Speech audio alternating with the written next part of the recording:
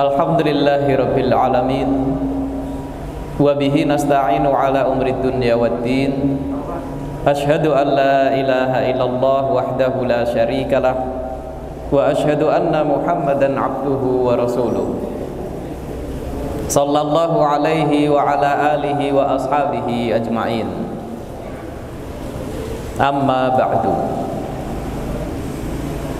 Marilah kita awali pertemuan kita pada pagi hari ini dengan memuji dan menyanjung Allah Subhanahu wa taala yang telah memberikan begitu banyak kenikmatan kepada kita semua. Terutama nikmat yang paling berharga yaitu nikmat iman dan amal soleh. Begitu juga nikmat-nikmat yang tidak kalah berharganya seperti nikmat sehat dan waktu luang. Semoga kita bisa mensyukuri nikmat-nikmat Allah ini dengan memanfaatkannya untuk meningkatkan ibadah dan kedekatan kita kepada Allah tabaraka wa taala. Salawat serta salam kita haturkan kehadirat Nabi Muhammad sallallahu alaihi wasallam. Seorang nabi sekaligus rasul yang kita ikuti tuntunan-tuntunannya.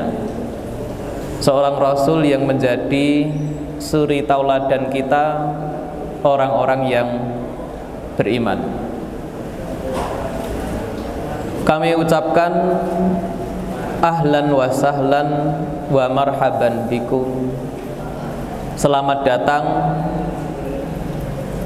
para orang tua dan wali santri serta santriwati Madrasah Salafiyah Wusto dalam acara pertemuan wali santri dan pembagian rapot.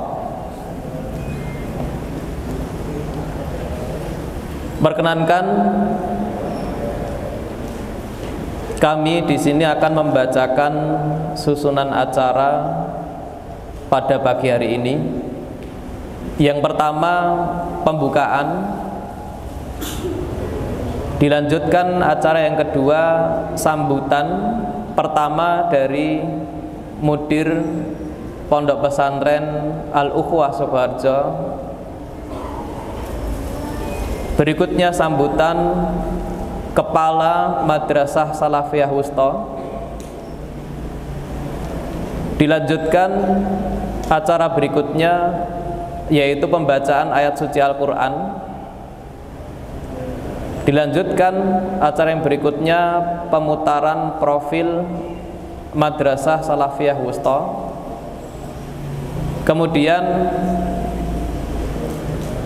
dilanjutkan informasi penting kegiatan-kegiatan Madrasah Salafiyah Wusto. Kemudian tanya jawab dan sharing dan yang terakhir penutupan kemudian dilanjutkan pengambilan rapot. Bagi yang belum mengambil rapot dan sudah lunas administrasi. Langsung saja kita memasuki acara yang pertama yaitu pembukaan. Dengan kalimat bismillahirrahmanirrahim kita buka acara pertemuan wali santri pada pagi hari ini yang dilanjutkan dengan eh, pembagian rapot.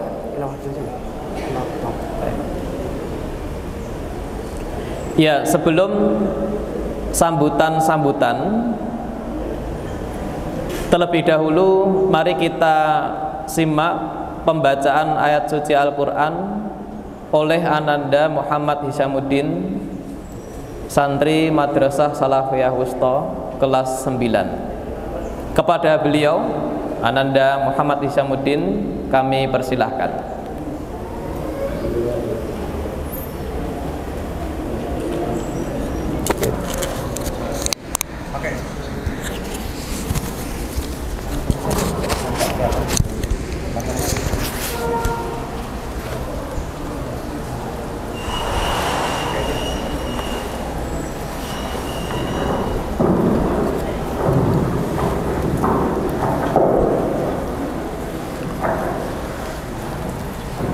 بسم الله السلام عليكم ورحمة الله وبركاته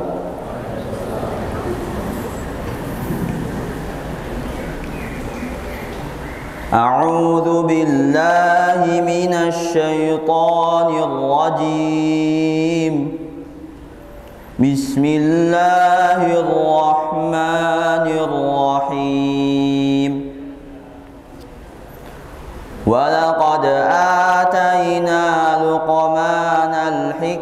أن اشكر لله ومن يشكر فإنما يشكر لنفسه ومن كفر فإن الله غني حميد وإذ قال لقمان لابنه وهو يعظه يا بني لا تشرك بالله إن الشرك لظلم عظيم. ووصينا الإنسان بوالديه حملته أمه وهنا على وهن وفصاله في عامين. وفصاله في عامين أن اشكر لي ولوالديك إلي المصير.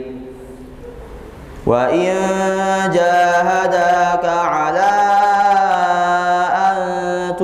تشرك بي ما ليس لك به علم فلا تطعهما وصاحبهما في الدنيا معروفا واتبع سبيل من أناب إلي ثم إلي مرجعكم فأنبئكم بما كنتم تعملون.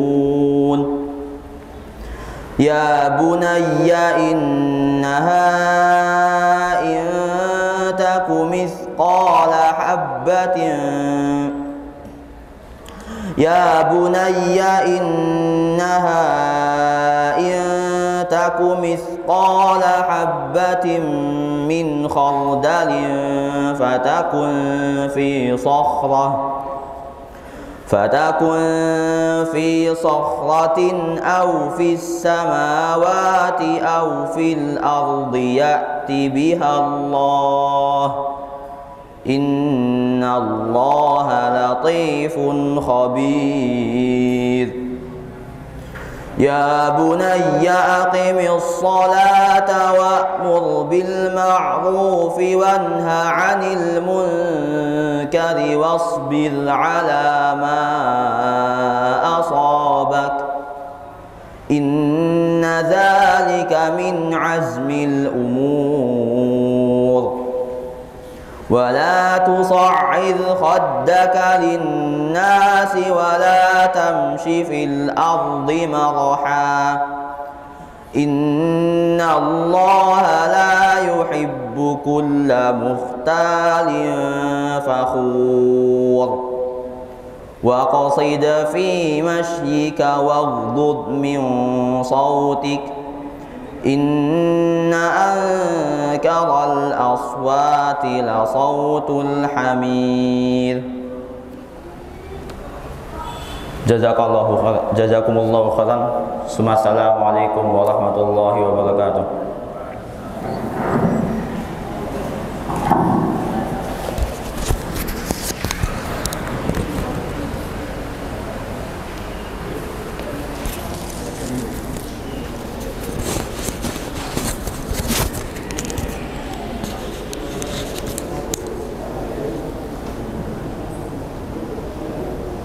Itu tadi pembacaan ayat suci Al-Quran oleh Ananda Muhammad Hishamuddin Semoga Allah Subhanahu wa taala menurunkan rahmatnya kita kepada kita semua melalui ayat-ayat suci Al-Qur'an tersebut. Berikutnya sambutan dari mudir Pondok Pesantren Al-Ukhuwah Sukoharjo kepada beliau Al Ustadz Al Mukarram Abu Sulaiman Aris Sugiantoro kami persilahkan.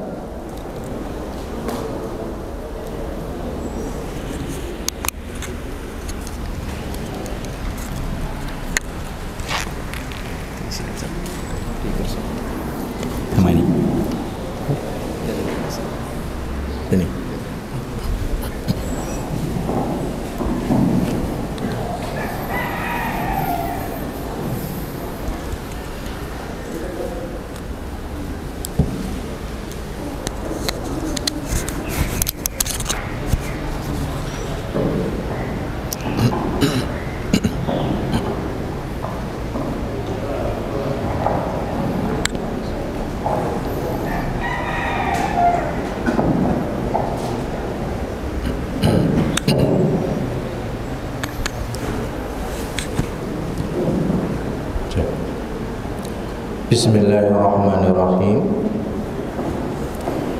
السلام عليكم ورحمة الله وبركاته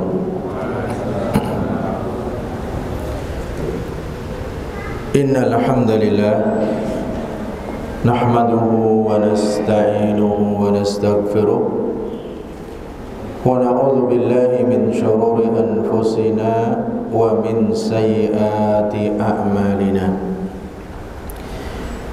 من يهده الله فلا مضل له ومن يضلل فلا هادي له. وأشهد أن لا إله إلا الله وحده لا شريك له. وأشهد أن محمدا عبده ورسوله.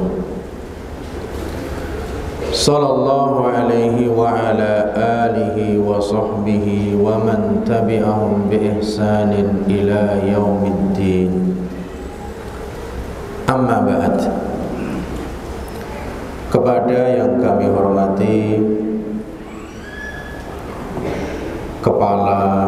Madrasah Salafiyah Wusta Ustadz Abdul Karim Dwi Rahmadi. Kepada yang kami hormati Bapak-bapak, ibu-ibu Para ikhwan, akhwat Dan juga para ustadz, para ustadzah yang hadir pada pagi hari ini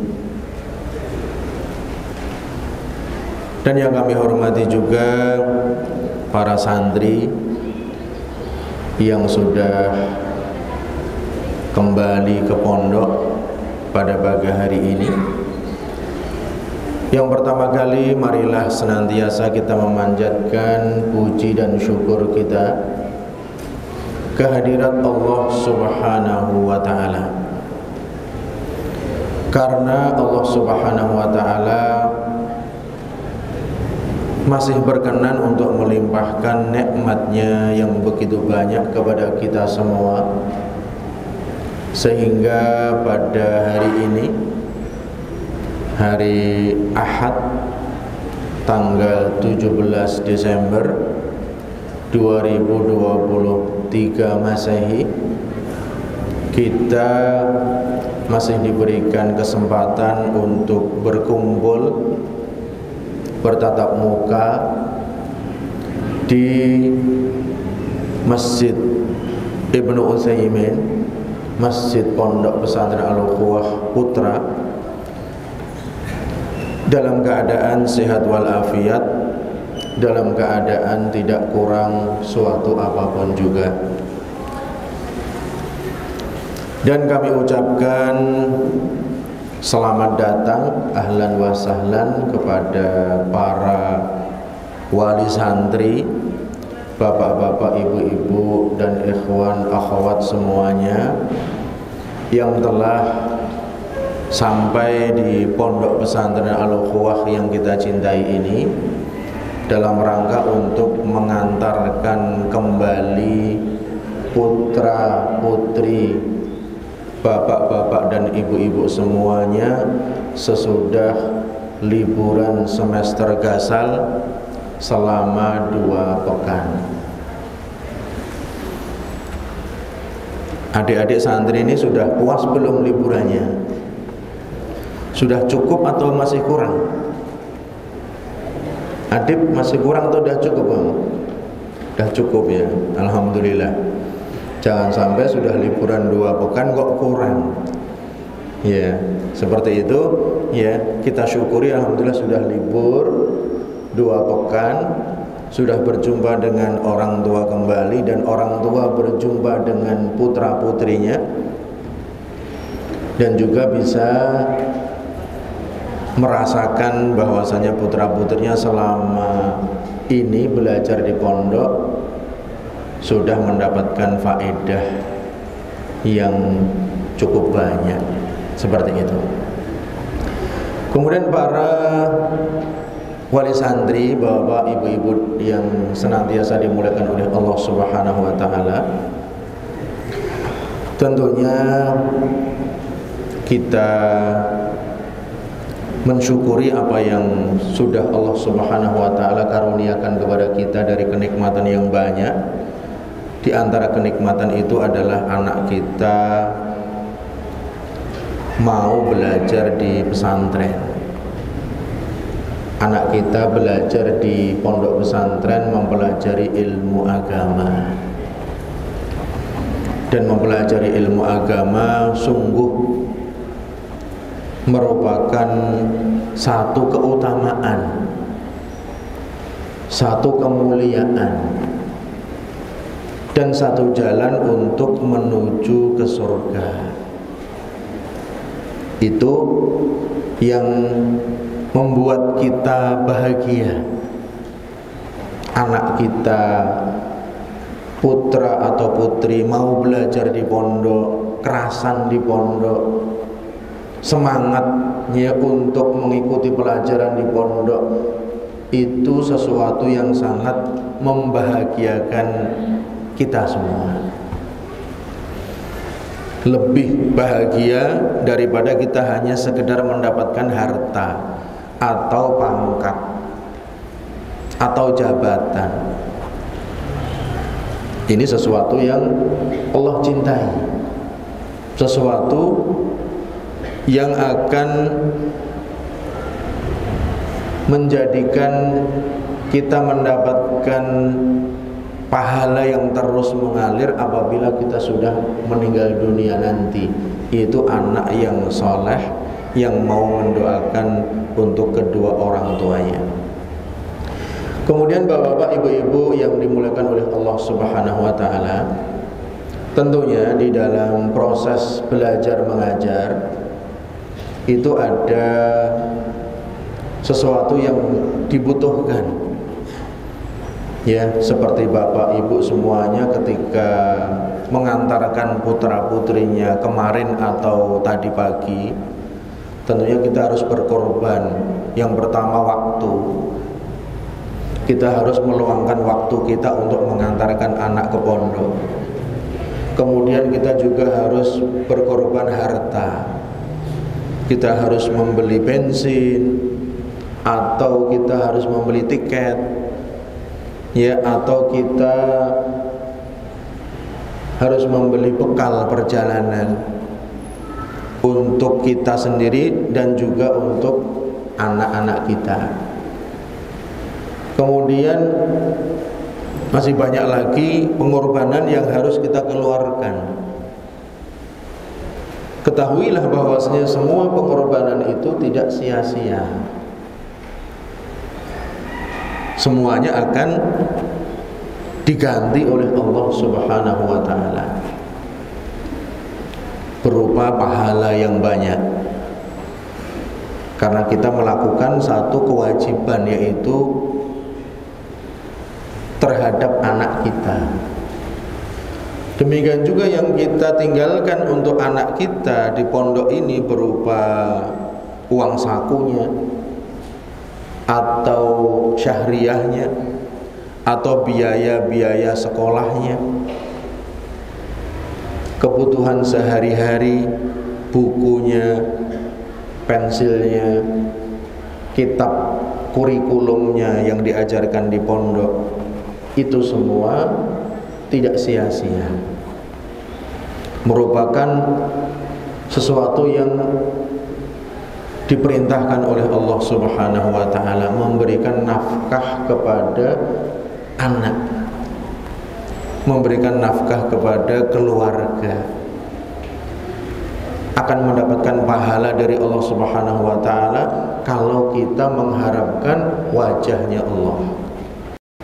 Ikhlas mengharapkan wajahnya Allah semuanya akan berupa pahala hingga apa yang kita suapkan kepada istri kita dan juga anak-anak kita. Kemudian bapak-bapak, ibu-ibu yang dimuliakan oleh Allah Subhanahu wa taala, tentunya di dalam belajar di pesantren itu banyak sekali ujian. Ya, ujian untuk anak-anak kita ya selama di pondok juga harus adaptasi. Kemudian harus ya mengikuti kegiatan di pondok sesuai dengan waktunya. Ya harus capek juga. Ya ujian juga ini. Kemudian muamalah dengan teman-temannya muamalah dengan ustadznya muamalah dengan musyrifnya itu semua membutuhkan kekuatan.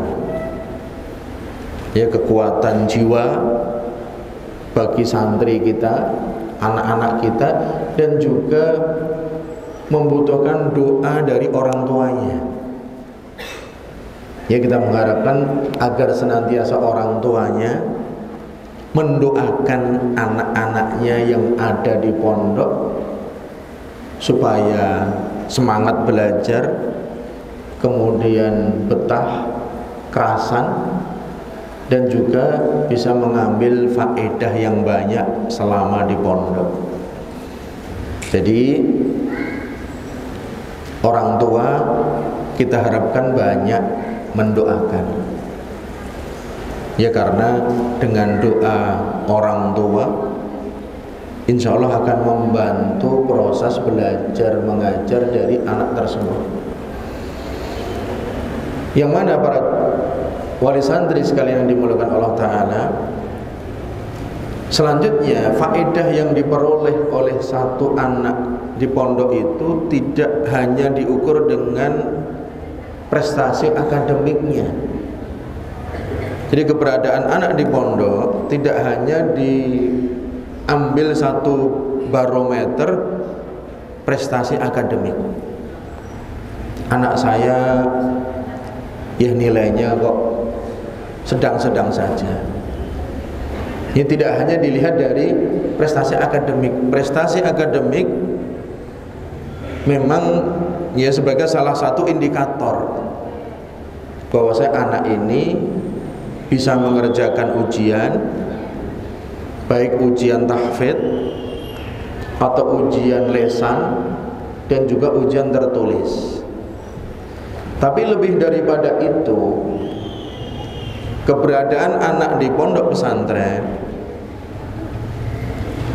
hendaknya istifadah dengan apa yang diajarkan di pondok. Istifadah itu mengambil faedah, mengambil manfaat ya anak itu akidahnya bagus. Benar. Kemudian akhlaknya juga baik. Kemudian sopan santunnya kepada orang tua juga baik.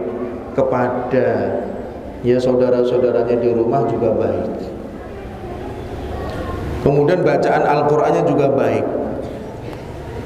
Dan anak kita juga senantiasa menjalankan ibadah kepada Allah dengan baik seperti membaca Quran, zikir pagi, zikir sore. Kemudian anak itu merasa senang dengan menuntut ilmu. Itu yang kita harapkan. Jadi tidak hanya selembar kertas yang nanti akan kita terima yaitu rapot hasil belajar selama satu semester tidak hanya itu Anak itu kita harapkan di pondok mendapatkan banyak faedah. Akhlaknya jadi baik. Kemudian lesannya juga baik. Perbuatan anggota badannya juga baik. Kemudian mengamalkan amalan-amalan yang sunnah yang banyak di pondok seperti puasa sunnah kemudian membaca Quran setiap hari. Zikir setiap pagi, setiap sore itu yang kita harapkan. Jadi tidak hanya wah ini kenapa nilai anak saya sedang atau bahkan kurang? Ya itu salah satu indikator. Barangkali jangan sampai ketika anak kita memiliki nilai yang baik kita puji setinggi-setingginya, setinggi-tingginya. Tapi ketika nilainya kurang, kemudian kita marahi atau kita jatuhkan. Kenapa kamu tidak belajar? Kenapa kamu banyak main? Kenapa kamu berteman dengan si A, si B sehingga nilai kamu kurang? Dia yang seperti itu ya tidak bijaksana ketika anak nilainya bagus ya kita berikan yang memberi nilai kamu Allah Subhanahu wa taala. Semoga kamu istiqomah. Semoga kamu diberikan taufik nak. Kalau nilainya kurang, ya tidak mengapa. Insya Allah ke depan kamu bisa rajin belajar. Bisa meningkatkan prestasinya. Ya, jangan hanya ya memperhatikan yang lain-lain main bola dan lain sebagainya. Itu boleh tapi jangan kamu perhatikan dengan perhatian yang banyak. Perhatikan belajar. Atau dinasihati nak kalau pulang dari pondok itu bukunya dibuka tasnya dibuka. Ya paling tidak 10 menit membuka buku yang diajarkan tadi di sekelas.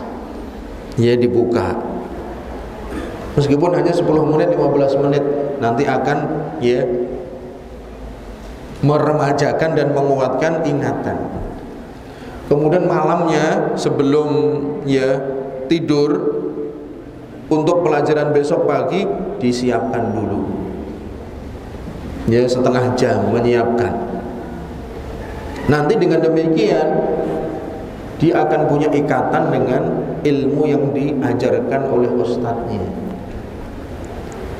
Ya diberi nasihat seperti itu, nak kalau pulang dari sekolah di asrama, apakah itu ba'da asar, apakah itu sebelum tidur siang, dibuka dulu sebentar.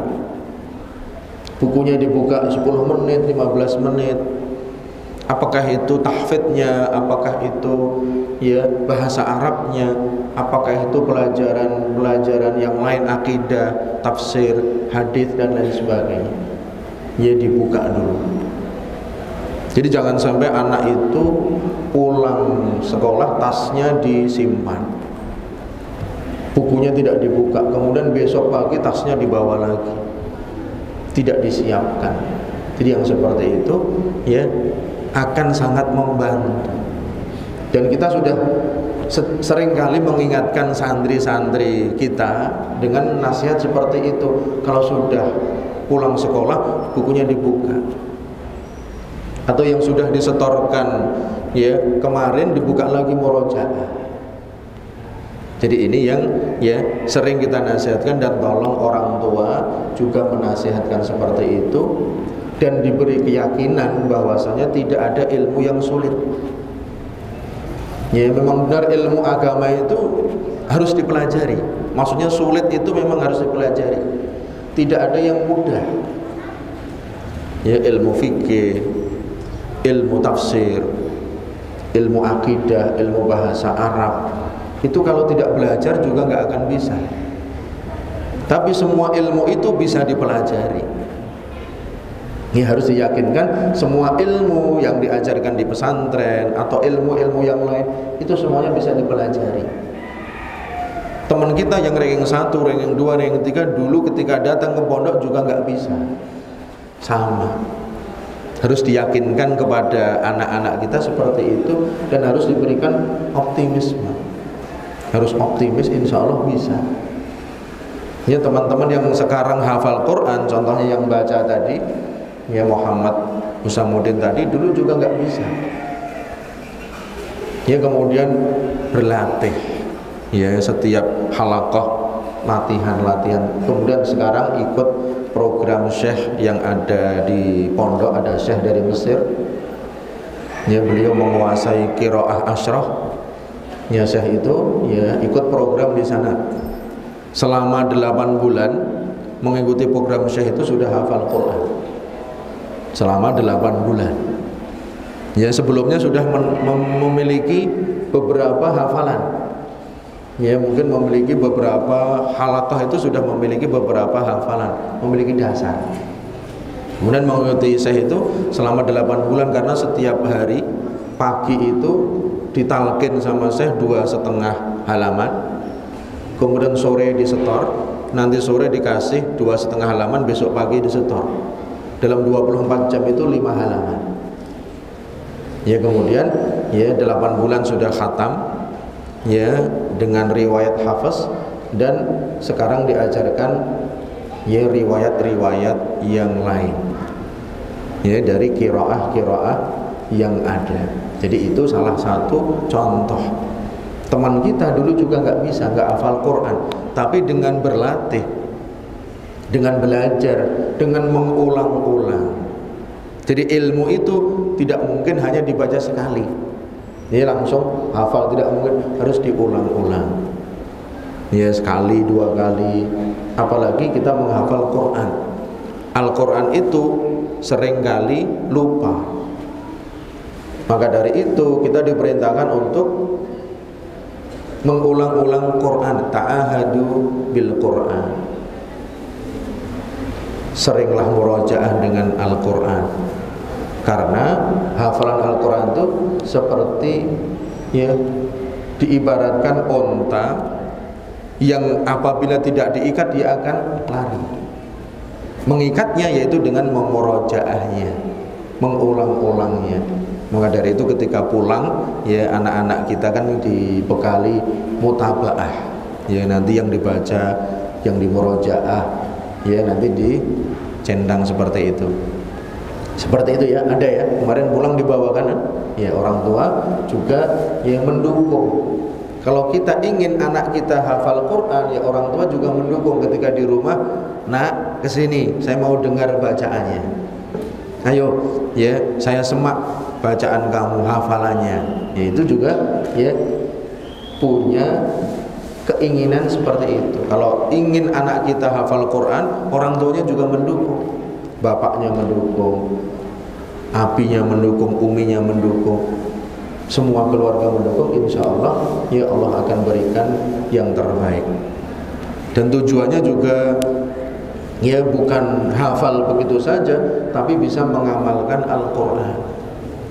Bisa ya mengamalkan dari Al-Quran. Dulu para sahabat ya tidak banyak di antara mereka yang hafal Quran yang hafal Quran ya banyak juga di antara para sahabat tapi tidak semuanya.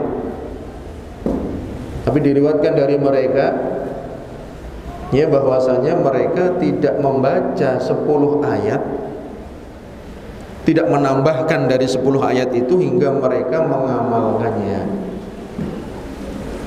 Kemudian setelah mengamalkannya, menghayatinya, kemudian baru menambahkan ayat-ayat yang lain. Jadi inti daripada kita belajar, inti daripada kita menuntut ilmu adalah untuk beribadah kepada Allah, mendekatkan diri kepada Allah. Jangan sampai sesudah kita menuntut ilmu, kita malah tidak mendekatkan diri kepada Allah. Ya tujuan kita menghafal Quran, membaca Quran setiap hari adalah mendekatkan diri kepada Allah. Memperbanyak amalan kita untuk lebih dekat kepada Allah hingga kita mendapatkan kebaikan yang banyak dan dengan ibadah-ibadah itu Allah akan memberikan balasan kepada kita berupa surga firdaus. Jadi ya ini yang bisa kami sampaikan di dalam sambutan ini barangkali ya yang sedikit ini bisa memberikan manfaat ya kepada kita semua dan juga memberikan semangat ya kepada bapak-bapak ibu-ibu semuanya. Dan saya ucapkan jazakumullah khairan kepada para ustadz para ustadzah para musyrif musyrifah yang sudah ya bekerja dengan semaksimal mungkin di dalam mendidik para santri. Dan juga kami ucapkan jazakumullah khairan kepada para wali santri ya yang sudah ta'awun bekerja sama dengan pihak pondok dan juga pihak sekolah ya agar Allah Subhanahu wa taala memberikan kemudahan kepada wali santri ya memberikan ya kekuatan dan juga memberikan balasan yang sebaik-baiknya kepada antum semua yang sudah ya mempercayakan kepada kami kepada Pondok Pesantren Sukoharjo untuk pendidikan ya anak-anak ya Bapak Ibu semuanya. Dan kita harapkan juga ke depan kita lebih meningkatkan kerjasama karena kesolehan anak-anak santri kita tidak mungkin hanya dilakukan oleh pihak pesantren. Yang paling utama adalah orang tua orang tua itu yang memiliki tanggung jawab yang paling utama. Pesantren kita bisa membantu. Ya maka dari itu ya tidak bisa ya kita hanya bekerja sendirian tidak bisa. Harus kita bekerja sama ta'awun ya di antara wali santri dengan ya para pengurus yang ada di pondok pesantren ini. Dan kami ya doakan semoga ya para wali santri ya diberikan ya keselamatan, kelancaran nanti kalau pulang ke rumah masing-masing sampai kepada keluarganya dalam keadaan selamat, sehat walafiat. Dan kami doakan juga putra-putri yang ditinggal di pondok bisa kerasan, bisa betah dan juga bisa semangat untuk menuntut ilmu agar kelak ia menjadi generasi robbani, ia generasi yang soleh dan solehah bisa menjadi para ulama, para dai, dan orang-orang yang bermanfaat ya untuk ya negara, masyarakat dan agamanya. Ini yang kami sampaikan. Mudah-mudahan Allah Subhanahu wa taala memberikan taufiknya kepada kita semua. Wassallallahu wasallam ala nabiyina Muhammad wa ajmain. Wa akhiru da'wana alhamdulillahi rabbil alamin. Wassalamualaikum warahmatullahi wabarakatuh.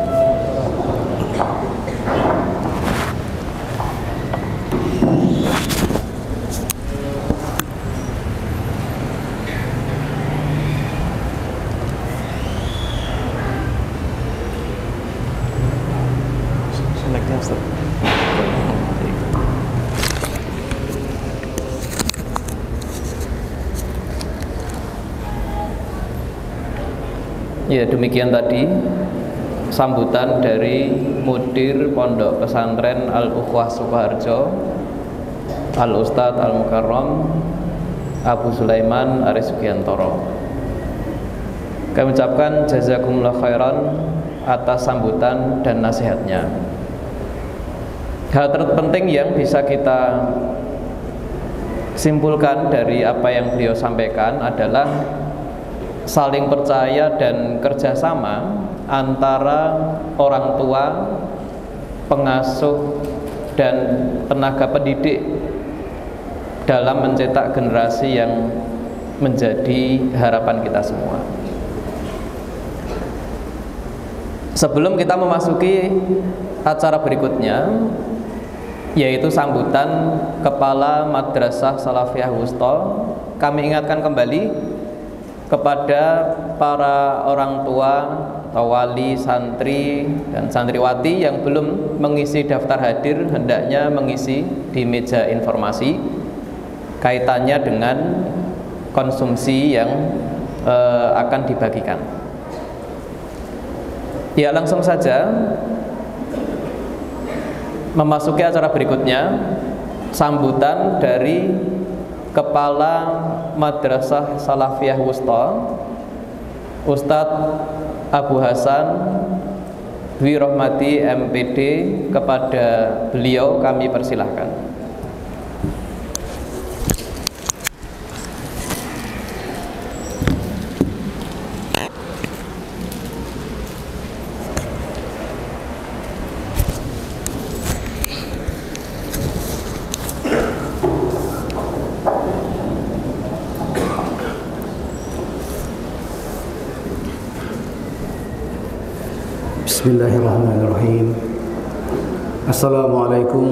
ورحمة الله وبركاته.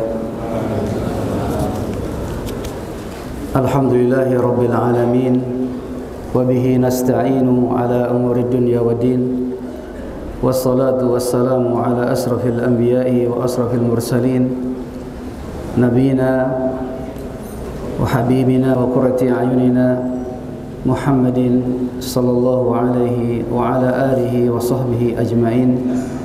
أما بعد yang kami hormati Ustazuna di Pondok Pesantren Al-Quwah Ustaz Aris Sugiantoro Habibullah Ta'ala yang kami hormati Bapak dan Ibu Wali Santri yang semoga senantiasa diberkahi oleh Allah Subhanahu wa taala. Demikian juga yang kami banggakan dan yang kami cintai para asatidah, para ustazah di pendidikan kesetaraan Wusta Al-Ukhwah pada pagi yang penuh barokah ini kembali kita haturkan puja syukur kepada Allah Azza wa Jalla yang telah memudahkan langkah-langkah kita yang telah memudahkan urusan kita kita bisa hadir di rumah Allah Subhanahu wa taala di Pondok Pesantren Al-Quwah dengan selamat dan mudah-mudahan semua jeripayah Bapak Ibu langkah-langkah Bapak Ibu semuanya setiap langkahnya senantiasa ditulis dengan kebaikan yang akan dibalas oleh Allah Subhanahu wa taala. Allahumma amin. Salawat dan salam semoga senantiasa tercurahkan kepada baginda Nabi Muhammad sallallahu alaihi wasallam pada para keluarga kepada para istri, sahabat-sahabatnya dan pengikutnya dan kita semuanya mudah-mudahan menjadi hamba-hamba Allah yang mengikuti sunnah beliau sallallahu alaihi wasallam. Sebelum kita lanjutkan perkenankan di sini dalam sambutan kami yang mana pada pertemuan wali santri tahun ini atau semester ini Bapak Ibu kita diadakan per marhalah ya. Maka di sini yang di masjid ini adalah semuanya adalah dari wali santri dan santriwati jenjang usto. Adapun MA sendiri di Masjid Pondok Putri ya. Ya tujuannya ya agar nanti Bapak Ibu bisa menyampaikan eh, hal-hal uh, yang perlu sehingga kita bekerja sama di dalam mewujudkan anak-anak yang soleh di era digital di masa kini ya sebagaimana tema yang kita angkat pada uh, pertemuan kali ini. Dan insya Allah nanti setelah saya menginformasikan beberapa hal yang penting dalam sambutan ini, kita akan sedikit sampaikan kiat uh, mentarbiah anak di era digital. Yang ini saya saya rangkumkan, saya terjemahkan dari ceramah Profesor Dr. Abdul Razak Al-Badr Habibullah Ta'ala. Namun sebelumnya perlu kami informasikan kepada Bapak Ibu sekalian bahwa di Pondok Pesantren Al-Uhwah ini yang di kerjakan atau dengan izin Allah yang diberikan uh, titipkan kepada pondok pesantren Al-Ukhuwah tentunya tidak hanya pendidikan ya tapi juga pembangunan ya. Dan di sini kita menginformasikan bahwa pondok pesantren Al-Ukhuwah ya selain uh, mendirikan atau melaksanakan pendidikan tarbiyah dari jenjang TK sampai yang sampai saat ini sampai jenjang Idaduat ya MA kemudian Idaduat yang insya Allah bismillah akan ada uh, sekolah tingginya. Ini tentunya uh, program-program uh, yang ada. Demikian juga penyebaran dai di masyarakat ya dari sisi pembangunan kami juga memiliki cabang-cabang ya. Kita Pondok ini kan punya cabang. Ada uh, Madinah Islamic Center yang ada di uh, sebelah selatan timur Rumah Sakit Umum Daerah ya atau tepatnya di sebelah timurnya Taman Pakujoyo kalau yang sudah ke sana mungkin ya. Itu ya cukup besar atau besar sekali juga ya. Masjid dan juga ada tahfidzul Quran di sana. Yang ini tentunya membuka peluang bagi para wali santri dan juga kaum muslimin di mana pun untuk ikut berdonasi ya. Jadi di sana pembangunan tahap pertama Islamic Center Madinah Islamic Center. Yang itu juga di bawah Yayasan Al-Uhwah masih ada kekurangan di sana pembangunan sekitar 225 juta. Ya sudah terkumpul 362 juta 121 ribu. Kemudian juga ini eh, di Pondok Pesantren Al juga kita membuat atau mengerjakan pemakaman muslim. Ya pemakaman muslim ini tidak jauh dari sini juga sekitar 7 kilo.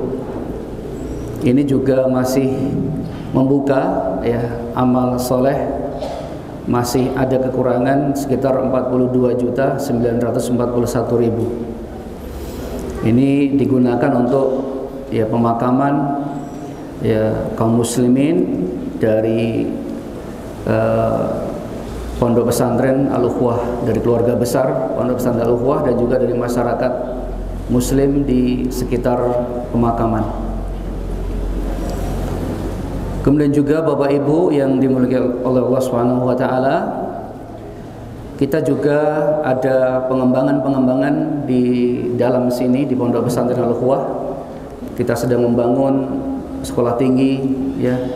Kita juga mengembangkan tentunya hal-hal yang mendukung di masa depan ya.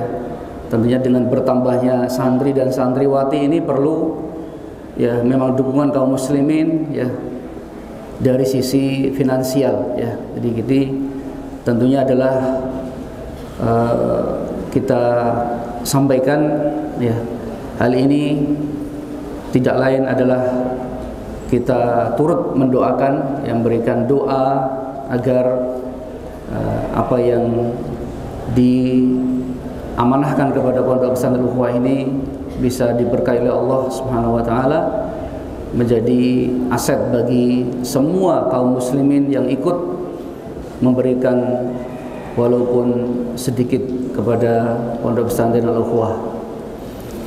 Kemudian Bapak Ibu untuk MSW atau pendidikan kalau namanya sekarang PKPPS Usto. Kenapa PKPPS? Karena ya kita sudah akreditasi dari BAN ya dari resmi pemerintah ya dan kita sudah akreditasi ulang bulan kemarin akreditasi usul karena udah lima tahun kita akreditasi lagi kemarin alhamdulillah yang mohon doa dari bapak ibu mudah-mudahan uh, kita juga meraih prestasi yang meningkat.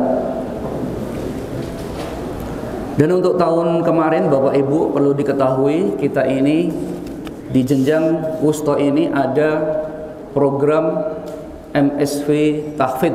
Ya, MSV Tahfid itu eh, sedikit bedanya adalah fokus menghafal ya. Jadi selama tiga tahun itu diharap atau ditargetkan hafal Al-Quran. Ini ada 30 santri yang terletak di Sugihan, jadi cabang Ukhuwah. Di Sugihan juga ada cabang di sana yang digunakan untuk MSW Tahfid dan juga Takhasus Lughatul Arabiyah. Itu berada di sana. Dan alhamdulillah untuk tahun ini kita membuka yang putri. Insya Allah kita membuka yang putri. Barangkali yang daerah selatan mungkin tahu di daerah Weru, ya daerah Weru Karanganyar. Ya, mungkin yang Sukoharjo hafal ya Insya Allah. Itu di sebelah selatannya Pondok Koryatul Quran, ya agak ke selatan sedikit.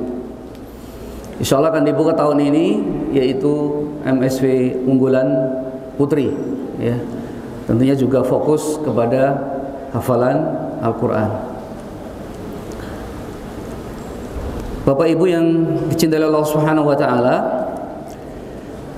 Nah, untuk yang berikutnya tentu kami mengharap kepada kita semua ya untuk turut mendukung, mendoakan dan memberikan andil untuk tentunya baik yang hadir di sini atau yang streaming yang melihat siaran kita ini untuk memperhatikan ya syahriahnya atau bulanannya karena tentunya ini sangat-sangat ya akan bermanfaat kepada uh, kita semua ya untuk anak-anak kita untuk pendidikan anak-anak kita.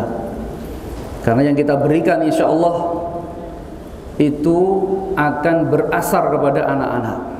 Ya yang kita berikan dengan ikhlas untuk biaya anak-anak kita itu akan juga berpengaruh kepada pendidikan anak, kepada semangatnya anak, kepada yaitu bagaimana anak-anak itu dalam belajar. Baiklah nanti insya Allah bisa kita sharing di akhir setelah atau pada sesi yang setelah ini. Jadi silahkan kita akan terima dan akan kita uh, tampung dan kita tindak lanjuti barangkali ada masukan-masukan usulan-usulan yang mendukung dari Bapak Ibu sekalian. Nah, kemudian sedikit untuk ya sebagai oleh-oleh ya dari pertemuan kita pada siang hari ini saya akan sampaikan 10 kiat yang disampaikan oleh Profesor Dr. Abdul Razak Al-Badir Hafizullah Ta'ala dalam kita menterbiah dalam kita mendidik anak-anak kita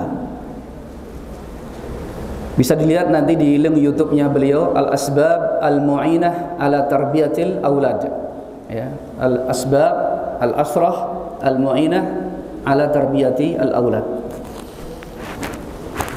yang pertama Bapak Ibu kita harus memperbanyak doa. Sebagaimana disampaikan oleh mudir kita Ustaz Aris Biantoro kita memperbanyak doa kepada Allah Subhanahu wa taala. Senantiasa merengek-rengek kepada Allah. Betul-betul bermunajat kepada Allah agar Allah menganugerahi kepada kita anak soleh yang diperbaiki oleh Allah Subhanahu wa taala. Hal ini Bahkan sebelum adanya anak, Allah sudah merintahkan kita untuk berdoa. Dan setelah adanya anak, kita pun diperintahkan untuk berdoa, memohon anak-anak yang soleh. Maka kita bisa tanya pada diri sendiri, berapa kali saya sudah doakan anak saya hari ini? Sudah berapa? Di waktu-waktu yang mustajab sudahkah saya doakan anak-anak saya? Nah, ini pertanyaan yang harus kita ingat. Karena doa itu adalah sumber segala kebaikan.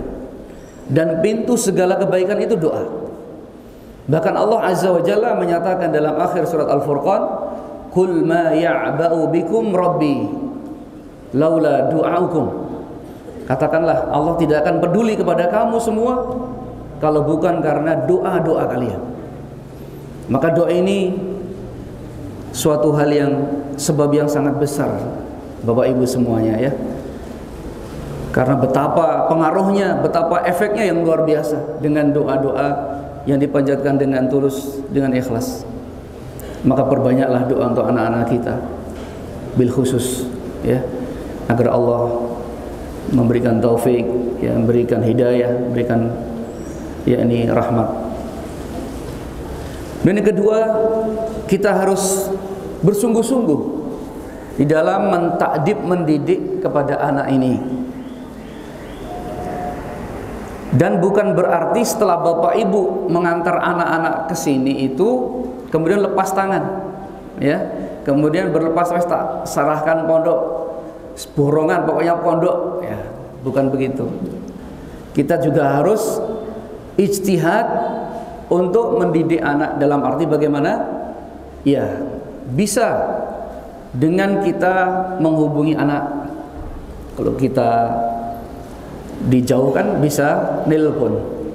Ya bisa memberikan pesan-pesan ya pendidikan bagaimana kita lihat misalnya ayat-ayat Allah yang berisi pendidikan itu disampaikan kepada anak. Karena sebaik-baik petunjuk itu petunjuk Allah. Sehingga kalau kita ambil nasihat dari Al-Quran, kita kirim, kita sampaikan anak kita, insya Allah itu akan lebih baik. Ya, jangan perlu kita susah-susah cari apa ya kalimat apa yang bagus ya untuk anak-anak saya atau nah, lihat di ayat, lihat dalam hadis banyak Perkataan-perkataan ulama banyak sekali. Kita bisa browsing di internet, kita kirim anak kita, kita sampaikan ya. Ini bersungguh-sungguh. Jadi jangan sampai kita lepas, nggak pernah hubungi, nggak pernah ngirim uang saku, nggak pernah ya tanya ini bagaimana ini pelajarannya, hafalannya dan sebagainya. Bukan. Tanya, hafalamu sampai mana nak? Bagaimana ulangannya bisa atau tidak nak dan sebagainya. Ya, ditanya. Ini sebagai bentuk kesungguhan kita agar anak itu ya menjadi betul-betul bersemangat dalam belajar. Dan yang ketiga melengkapi dengan sarana dan kegiatan yang bermanfaat melalui kemajuan teknologi. Tentunya ini ya bersama. Di sini insya Allah kita juga mengarahkan karena tidak ada HP, tidak ada elektronik ya yang kita bebaskan untuk digunakan tetapi kita arahkan. Kita ada ekskul silahkan milih agar potensi anak-anak kegiatan-kegiatan anak itu bisa terarah. Ya, Alhamdulillah sudah banyak ekskul yang diminati oleh anak-anak kita. Ada yang mungkin senang berkuda ada yang mungkin senang berenang ada yang senang memanah ada yang senang futsal juga. Banyak ya. Ada yang bela diri ada bermacam-macam berbela diri ya. Jadi apa? Ini kegiatan-kegiatan bermanfaat. Demikian juga harapan kita harapan kami semua ketika liburan di rumah itu orang tua juga memberikan kegiatan-kegiatan yang manfaat. Karena orang yang sibuknya banyak waktunya digunakan yang bermanfaat itu akan bahagia tapi kalau waktunya tidak digunakan untuk yang manfaat itu akan ya hilanglah kebahagiaan. Jadi akan rugi dan susah ya anak-anak kita jadi gabut terus apa yang dikerjakan bingung ya. Maka orang tua bisa memberikan kegiatan-kegiatan yang positif di rumah itu. Ya. Kalau misalnya pegang HP ya boleh tapi harus dipantau. Kan gitu. Kegiatannya apa yang dilihat apa itu harus diperhatikan. Ini namanya jadi dilengkapi. Mungkin anak-anak suka sepeda ya mungkin ada sepeda dia bersepeda bisa ya intinya kegiatan yang bermanfaat baik itu membaca belajar ataupun dengan hobi-hobi yang bermanfaat ya tidak mengapa Kemudian yang keempat, Bapak Ibu rahimani wa rahimakumullah adalah kita harus memilihkan teman-teman yang baik. Dipeseni, nah kamu kalau cari teman itu yang semangat lah ya jangan dekat sama temenmu yang nggak semangat misalnya ya. Karena di pondok itu kan nggak ya memang ya kita nggak bisa menjamin bapak ibu ya di pondok itu kabeh semangat ya kita kayaknya ya masya Allah enggak enggak bisa. Jadi ada saja mungkin anak-anak yang kurang semangat tapi tetap ustadz itu kita harapkan tidak bosan-bosan untuk memberikan terus nasihat yang ngantuk yang tidur di kelas yang mungkin di halakoh subuh subuh habis subuh harus ngaji. Kadang yang ngantuk-ngantuk ya harus dibangunkan. Jadi mohon maaf kadang juga mungkin dikasih air dikit biar bangun misalnya. Diraupin ya biar bangun ya kadang kan begitu. Jadi ini di antara kiat ya, agar anak kita memang ya, bisa terarah ya. Jadi teman itu sangat berpengaruh sekali bapak ibu. Karena Rasulullah sampai berpesan itu teman itu bisa memberikan efek mewarnai suluk kepribadian anak kita. Almaru ala dini khalili falyanzur amman yukhalil seorang itu adalah terletak pada agama temannya kepada akhlak temannya. Maka perhatikan siapa temannya. Ini nggak hanya di pondok pesantren. Di pondok pesantren saja harus juga pinter milih teman apalagi di luar pesantren. Di pesantren masih alhamdulillah lingkungannya masih bisa dibilang ya tidak seperti di luar kan. Ter, terjaga kan. Itu pun kadang masih tidak semuanya dijamin. Pasti soleh semua kan itu harapannya kita soleh semua tapi kita harus hati-hati teman itu bisa mempengaruhi seperti penjual minyak wangi dan seperti pandai besi kata Rasulullah ya. Kemudian kelima, Bapak Ibu rahimani wa rahimakumullah. Kita harus ingat semuanya sebagai ustadz, kami para ustadz juga sangat merasa uh, amanah yang dipikulkan kepada kami itu berat. Bukan hal yang ringan. Demikian juga Bapak-bapak Ibu memiliki anak-anak ini juga amanah dari Allah Subhanahu wa taala. Kita sama-sama bertanggung jawab, sama-sama mendidik Asatidah juga berusaha betul bagaimana anak-anak itu bacaan Qur'annya bagus, mungkin lancar ya. Sehingga memang sekarang ini proses belajar kita kalau setor nggak lancar diulang dulu kan gitu. Nggak lancar lagi, diulang lagi. Ini Ustaz sudah berkali-kali nggak lancar. Kok ngulang-ulang terus? Ya iya memang begitu. Memang begitu. Anak-anak juga dinasihati jangan bosen ya yakinlah kamu baca Quran itu sudah dicintai oleh Allah Subhanahu wa taala insyaallah. Karena banyak membaca Quran itu udah bagus. Dan insya Allah dengan usaha terus akan lancar. Ini akan lancar. Jadi ini memang tanggung jawab amanah di pundak kita semua Bapak Ibu. Kita harus eh, takut kepada Allah. Bagaimana nanti kalau kita ditanya oleh Allah Subhanahu wa taala, ini yang harus kita rasakan hadirkan dalam hati kita masing-masing. Yang ustadz juga menghadirkan dalam hati. Bagaimana saya kalau ditanya tentang mendidik anak ini? Orang tua juga begitu. Bagaimana nanti kalau saya ditanya oleh Allah? Anakku. Dan anak nanti juga ditanya bagaimana sikapnya? Bagaimana dia dengan orang tuanya? Sama ditanya oleh Allah. Apakah dia baik dengan orang tuanya? Apakah dia soleh? Mendoakan orang tua dan sebagainya.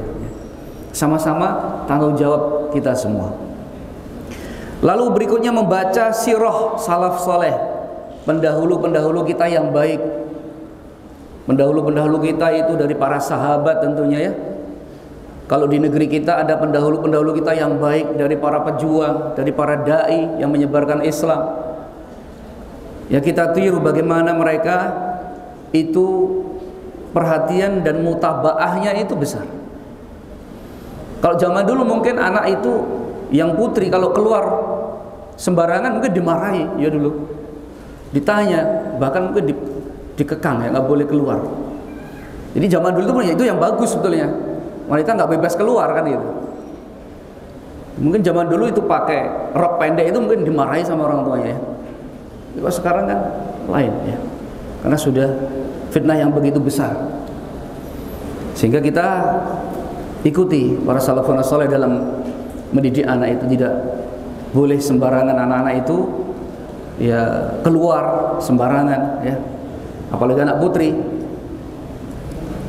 Jadi kita pantau terus kita mutabaah anak-anak kita agar tentunya kita mengetahui bagaimana perkembangan anak kita.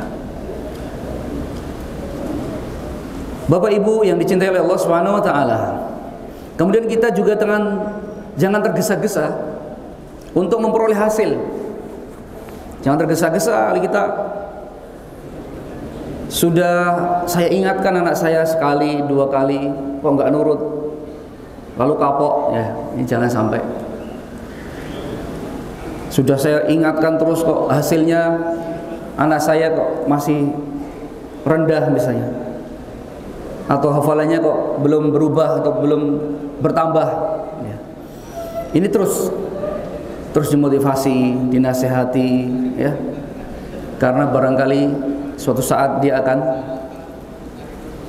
meraih prestasi yang tidak kita bayangkan ya karena anak kita sekarang ini jangan sampai kita menfonis menfonis anak kita pada hari ini kita nggak tahu Allah Azza wa Jalla akan memberikan dia hidayah sehingga nanti menjadi orang yang bermanfaat. Ya. Mungkin dia punya kelebihan yang lain, tidak hafal Quran, hafalannya nggak lancar, tapi barangkali dia punya akhlak yang bagus, punya kelebihan yang lain. Ya, kita jangan menfonis anak kita dengan fonis-fonis yang buruk, nggak boleh. Rasulullah Shallallahu Alaihi Wasallam sampai menasihati kita, la tad'u ala anfusikum, wa la tad'u ala amwalikum, wa la auladikum. Kamu jangan memfonis jelek kepada anak-anak kamu, mendoakan jelek hartamu, ya. Jadi ini pesan dari Nabi Shallallahu Alaihi Wasallam. Kita jangan putus asa. Kita nggak boleh putus asa. Asa tidak juga saya sudah ingatkan terus, tidak boleh bosan. Memberi nasihat anak, anak itu nggak boleh bosan. Ya, anak-anak misalnya hari ini dikasih tugas kok nggak ngerjakan, besok lagi ya dinasihati lagi terus. Ya, ini murojaah hari ini kok nggak setor dinasihati biar setor besok harus setor ya terus supaya anak itu bisa istiqomah store store murojaah murojaah ya gitu. Kemudian yang terakhir adalah bapak ibu kita konsentrasi. Konsentrasi terhadap perkara sholat. Perkara sholat ini yang baru digalakkan di pondok kita ini bapak ibu. Jadi kita dari bidang kesantrian kita itu menggalakkan tidak boleh sholat sendiri, harus jamaah semua. Dan tidak boleh telat, tidak boleh telat. Ya, harus semua jamaah dan tidak boleh telat. Ini yang sedang kita galakkan. Jadi perkara sholat ini betul-betul dinasihatkan oleh Nabi kita Shallallahu Alaihi Wasallam. Muru auladakum bis salah. Perintahkan anak-anakmu untuk sholat wadribu bahkan pukullah dia kalau umur sudah 10 tahun tidak mau sholat ini kita ambil pendidikan Nabi bahwa sholat ini satu dari sebab yang luar biasa. Karena apabila sholatnya baik anak-anak itu insya Allah akan baik. Ya. Kalau orang di masyarakat sholatnya baik niscaya dia akan baik. Karena inna salata tanha anil fahsyai wal munkar sesungguhnya salat itu bisa mencegah dari perbuatan keji dan mungkar. Dan Allah nggak pernah salah nggak mungkin. Kalau salatnya baik pasti akan terbentengi pasti akan terhalangi dari perbuatan-perbuatan yang mungkar yang jelek. Bapak Ibu rahimani wa rahimakumullah Semoga Allah Azza wa Jalla senantiasa memberikan kepada kita menganugerahkan kepada kita anak-anak yang soleh dan solihah semoga Allah senantiasa memberikan taufik kepada anak-anak kita memudahkan mereka semua di dalam meraih ilmu meraih cita-cita dan semoga Allah Azza wa Jalla menjadikan anak-anak kita penerus-penerus perjuangan kita penyejuk mata kita dan menjadi sebab pertolongan bagi kita di hari kiamat. Allahumma amin. Demikian beberapa hal yang bisa kita sampaikan, mudah-mudahan menjadi oleh-oleh yang bermanfaat bagi kita semuanya dan pada Bapak Ibu yang kami cintai. Akhirnya ada kurang lebihnya dalam kami menyambut Bapak Ibu dan juga dalam uh, menempatkan Bapak Ibu semuanya. Kami mohon maaf yang sebesarnya. Sekali lagi semoga semua jerih payah Ibu Bapak sekalian senantiasa dibalas oleh Allah dengan kebaikan yang berlipat ganda. Allahumma amin. Wassallallahu ala nabiyina Muhammad. Walhamdulillahi rabbil alamin. Assalamualaikum warahmatullahi wabarakatuh.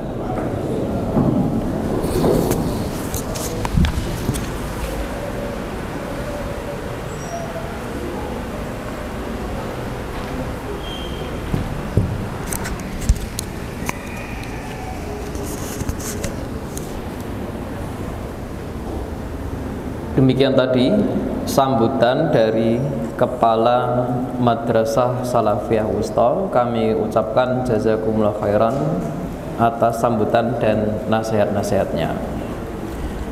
Memasuki agenda berikutnya pada pagi hari ini yaitu pemutaran profil Madrasah Salafiyah Wusta Bapak dan Ibu-ibu sekalian bisa menyaksikannya ya di layar.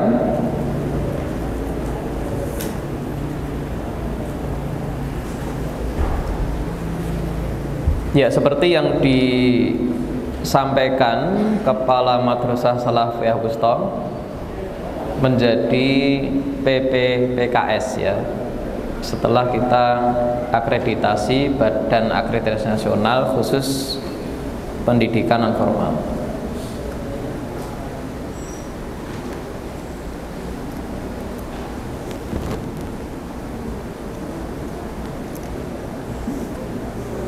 Ya, berikutnya visi dan misi Madrasah Salafiyah Wusta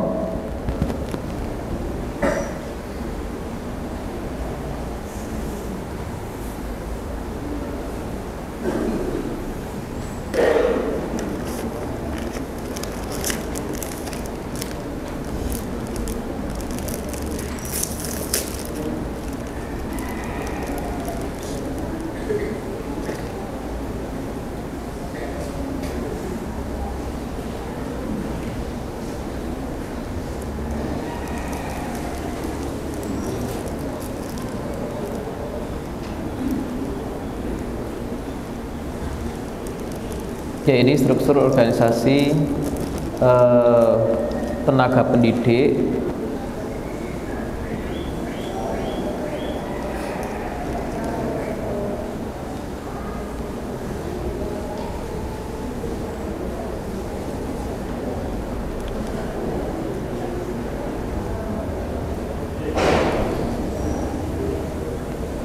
Ya bisa diperhatikan Bapak Ibu sekalian ya mayoritas tenaga pendidik Madrasah Salafiyah Wusta sudah eh, menempuh pendidikan ya sarjana dan ada dua tenaga pendidik yang sudah pasca sarjana.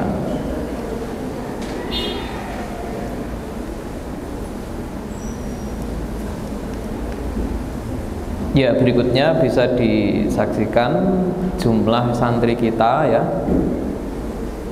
dari tahun ke tahun.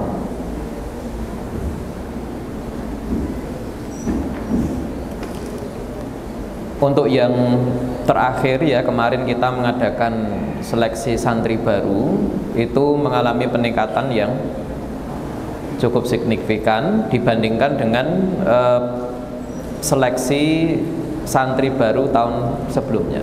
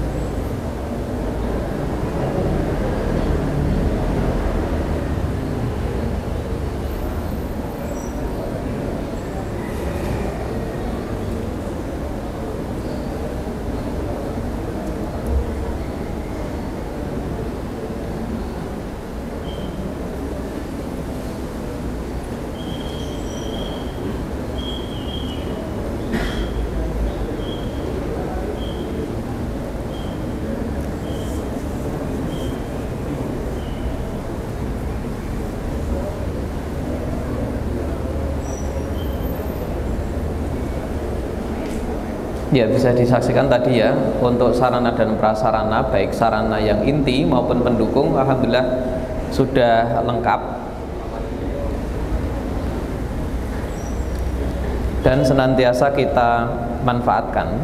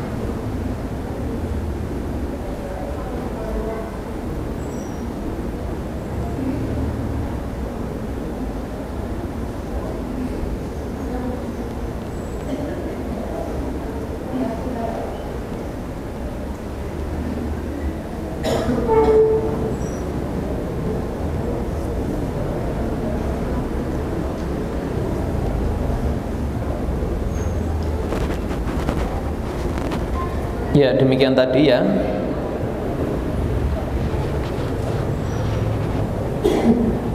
Pemutaran sampai pada sarana pendukung. Kemudian ini dari sisi kurikulum dan bahan ajarnya.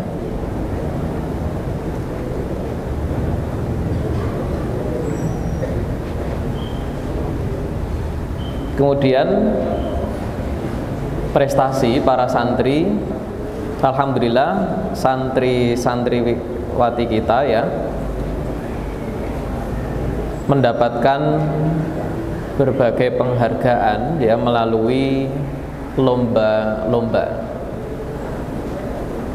Ada lomba yang sifatnya keagamaan, ada juga yang sifatnya ilmiah, bahkan yang sifatnya olahraga seperti yang kita saksikan di depan.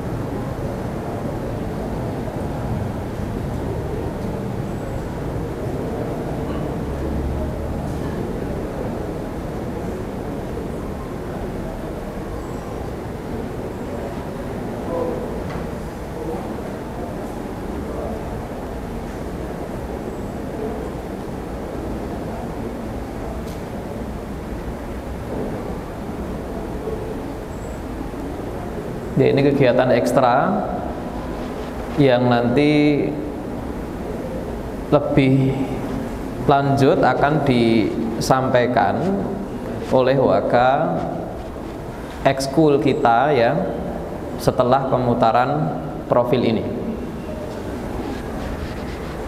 Bisa disaksikan ya untuk ekstrakurikulernya mencakup putra maupun putri.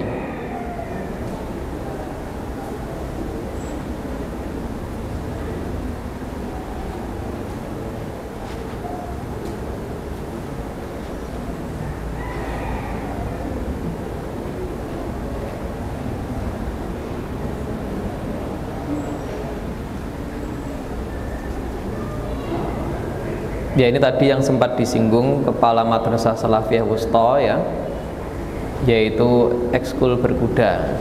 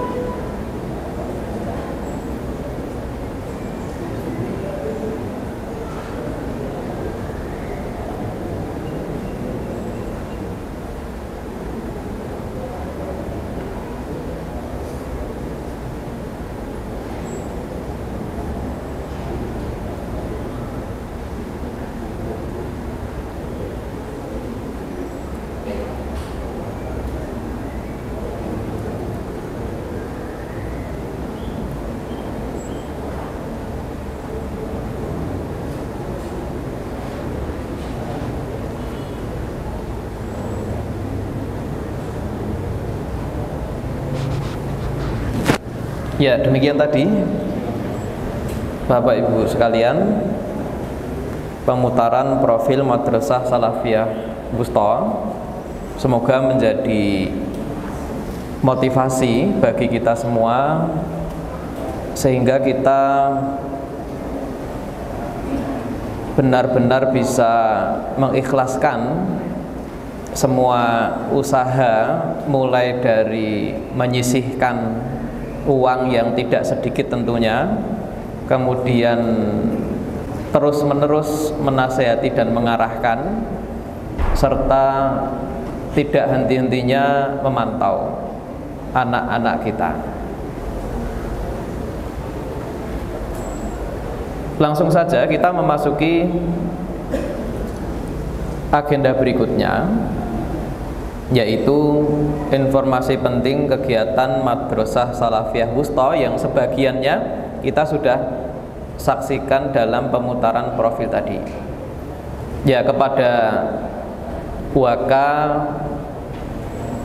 Ekskul Ustadz Muhammad Mukhlas SPD ya kami persilahkan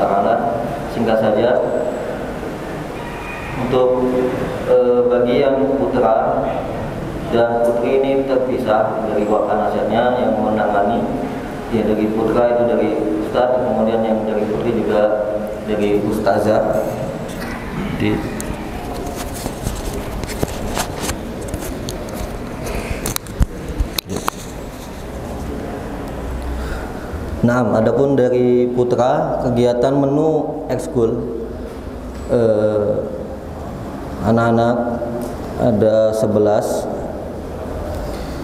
ya. Karena kita ingin me memberikan kepada anak didik kita untuk memperbanyak kegiatan yang positif. Dan kegiatan positif ini jadwalnya di luar jam KBM, kelas dan halaqah tahfidz Mengapa kita buat mereka banyak kegiatannya yang berpositif supaya harapan kami semoga mereka bisa memanfaatkan waktunya, konsentrasinya, pikirannya kepada hal-hal yang bermanfaat yang baik. Sehingga kata Imam Syafi'i rahimahullah, beliau memberikan pesan kepada kita, nafsaka illam tusgilha bi khairin syagolatka bi syarrin. Jadi kata beliau rahimahullah, jiwamu jika tidak disibukkan dengan hal yang bermanfaat niscaya jiwa itu akan membisikkan kepada hal-hal yang tidak bermanfaat. Nah ini yang kita eh, latar belakangi dari kegiatan yang kita adakan di Madrasah Salafiyah Usto ini. Adapun yang di Putra ada 11 menu kegiatan ekskul. Yang pertama yaitu tahsin. Tahsin ini kita peruntukkan bagi mereka yang ya kemampuannya di bawah rata-rata kita ingin bantu mereka ya untuk bisa mengejar ke, e, standar kualitas halakoh e, bacaan mereka di di halakoh tahfidz. Nah, kemudian yang kedua yaitu kiraatul kutub. Kiraatul kutub ini bacaan yang melatih mereka membaca tulisan bahasa Arab yang gundul, kemudian mengetahui alasan ya nahu dan sorof. Kaidah secara nahu dan sorof secara ya kita singgung. Lebih banyak kita mempraktekkan bacaannya. Ya lebih kita banyak praktek membacanya. Karena di kelas ya eh, minim dari praktek bacaan ya santri. Jadi kita bantu lagi kita memperbanyak praktek mereka di di ekskul Qiraatul Kutub ini. Kemudian yang ketiga yaitu futsal. Ya ini dari kelas 7, 8, 9 pelatihnya berbeda-beda dan juga jadwalnya berbeda-beda. Ya, futsal ini banyak yang diminati oleh para putra, santri putra. Nah, kemudian yang keempat yaitu badminton. Ya, kelima karate. Ya, karate alhamdulillah ya eh, kita memiliki pelatih yang bersertifikat dan alhamdulillah terwujud mereka para santri yang berbakat bisa mendapatkan ya eh, juara di berbagai macam eh, perlombaan yang ada diadakan oleh eh, dari kepolisian. Ya mereka mengadakan lomba karate alhamdulillah kita bisa mendapatkan juaranya kemudian juga yang keenam taekwondo atau jiu-jitsu. Kemudian yang ketujuh tifan yang kedelapan komputer.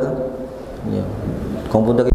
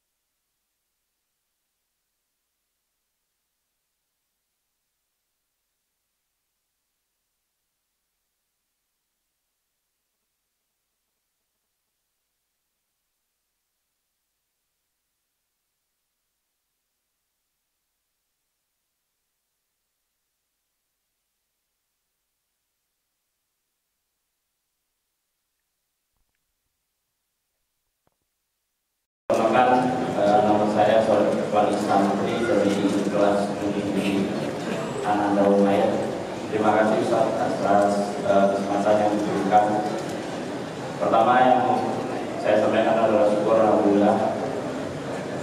Uh, terima kasih rasa syukur yang besar-besarnya kepada Allah taala atas karunia yang diberikan kepada uh, khususnya pondok pesantren al dan kepada seluruh uh, asal yang ada di al sehingga pada hari ini banyak sekali prestasi dan kemajuan pendidikan yang sudah diperoleh. Yang kedua, ini barangkali harapan dan uh, keinginan setelah menyimak tadi apa yang sudah disampaikan oleh Ustaz Abu Hasan tentang bagaimana mendidik anak dan uh, ini ada harapan-harapan yang uh, mungkin bisa menjadi satu perhatian yang di antaranya adalah tentang pendidikan adab dan akhlak. Sebagaimana yang kita ketahui, uh, ter, apa tidak terkecuali juga di pondok pesantren adanya fitnah yang luar biasa apalagi kalau dikaitkan dengan kemajuan teknologi era digital dan seterusnya pada hari ini itu butuh penguatan tentang pendidikan atau tarbiyah atau dan lain kepada anak kita semua. Yang tentunya ini yang pangkal dari segala permasalahan yang ada di Indonesia. Kemudian selanjutnya tentang penguatan di dalam Al-Quran.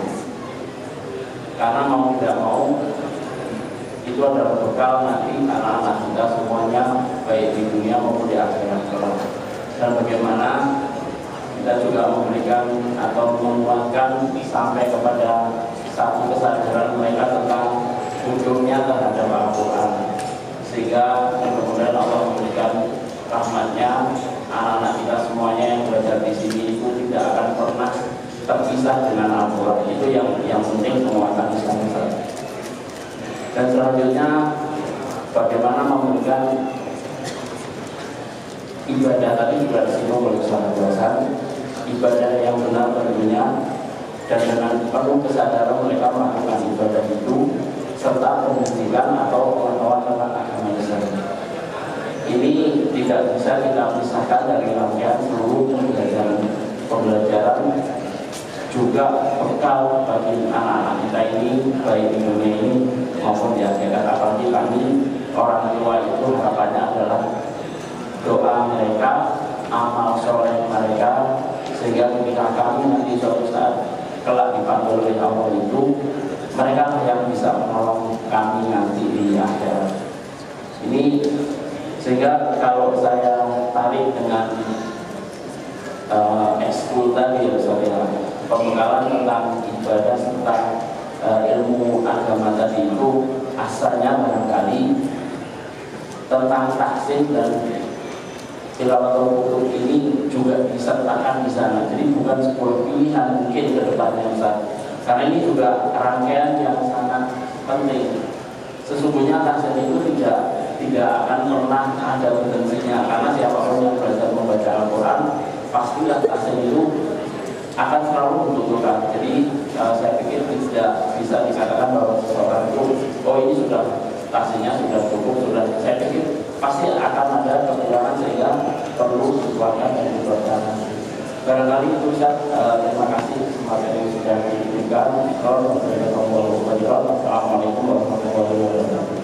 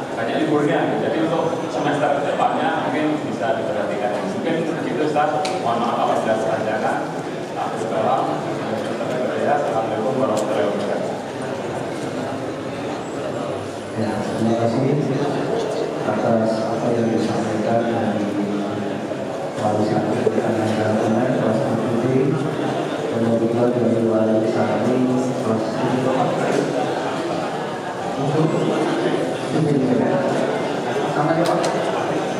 Wahyu. Ya, jadi beliau menyampaikan yang pertama harapan-harapan yang sudah dengarkan bersama yang nanti insya Allah akan di sedikit diulas oleh Agus Abdullah selaku wakil pakar ya. Kemudian saya ingin sedikit saja menanggapi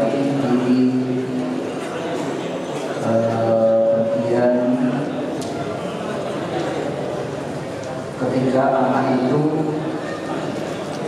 bisa terjadi tidak nakal ya kalau sebanyak belum belum bisa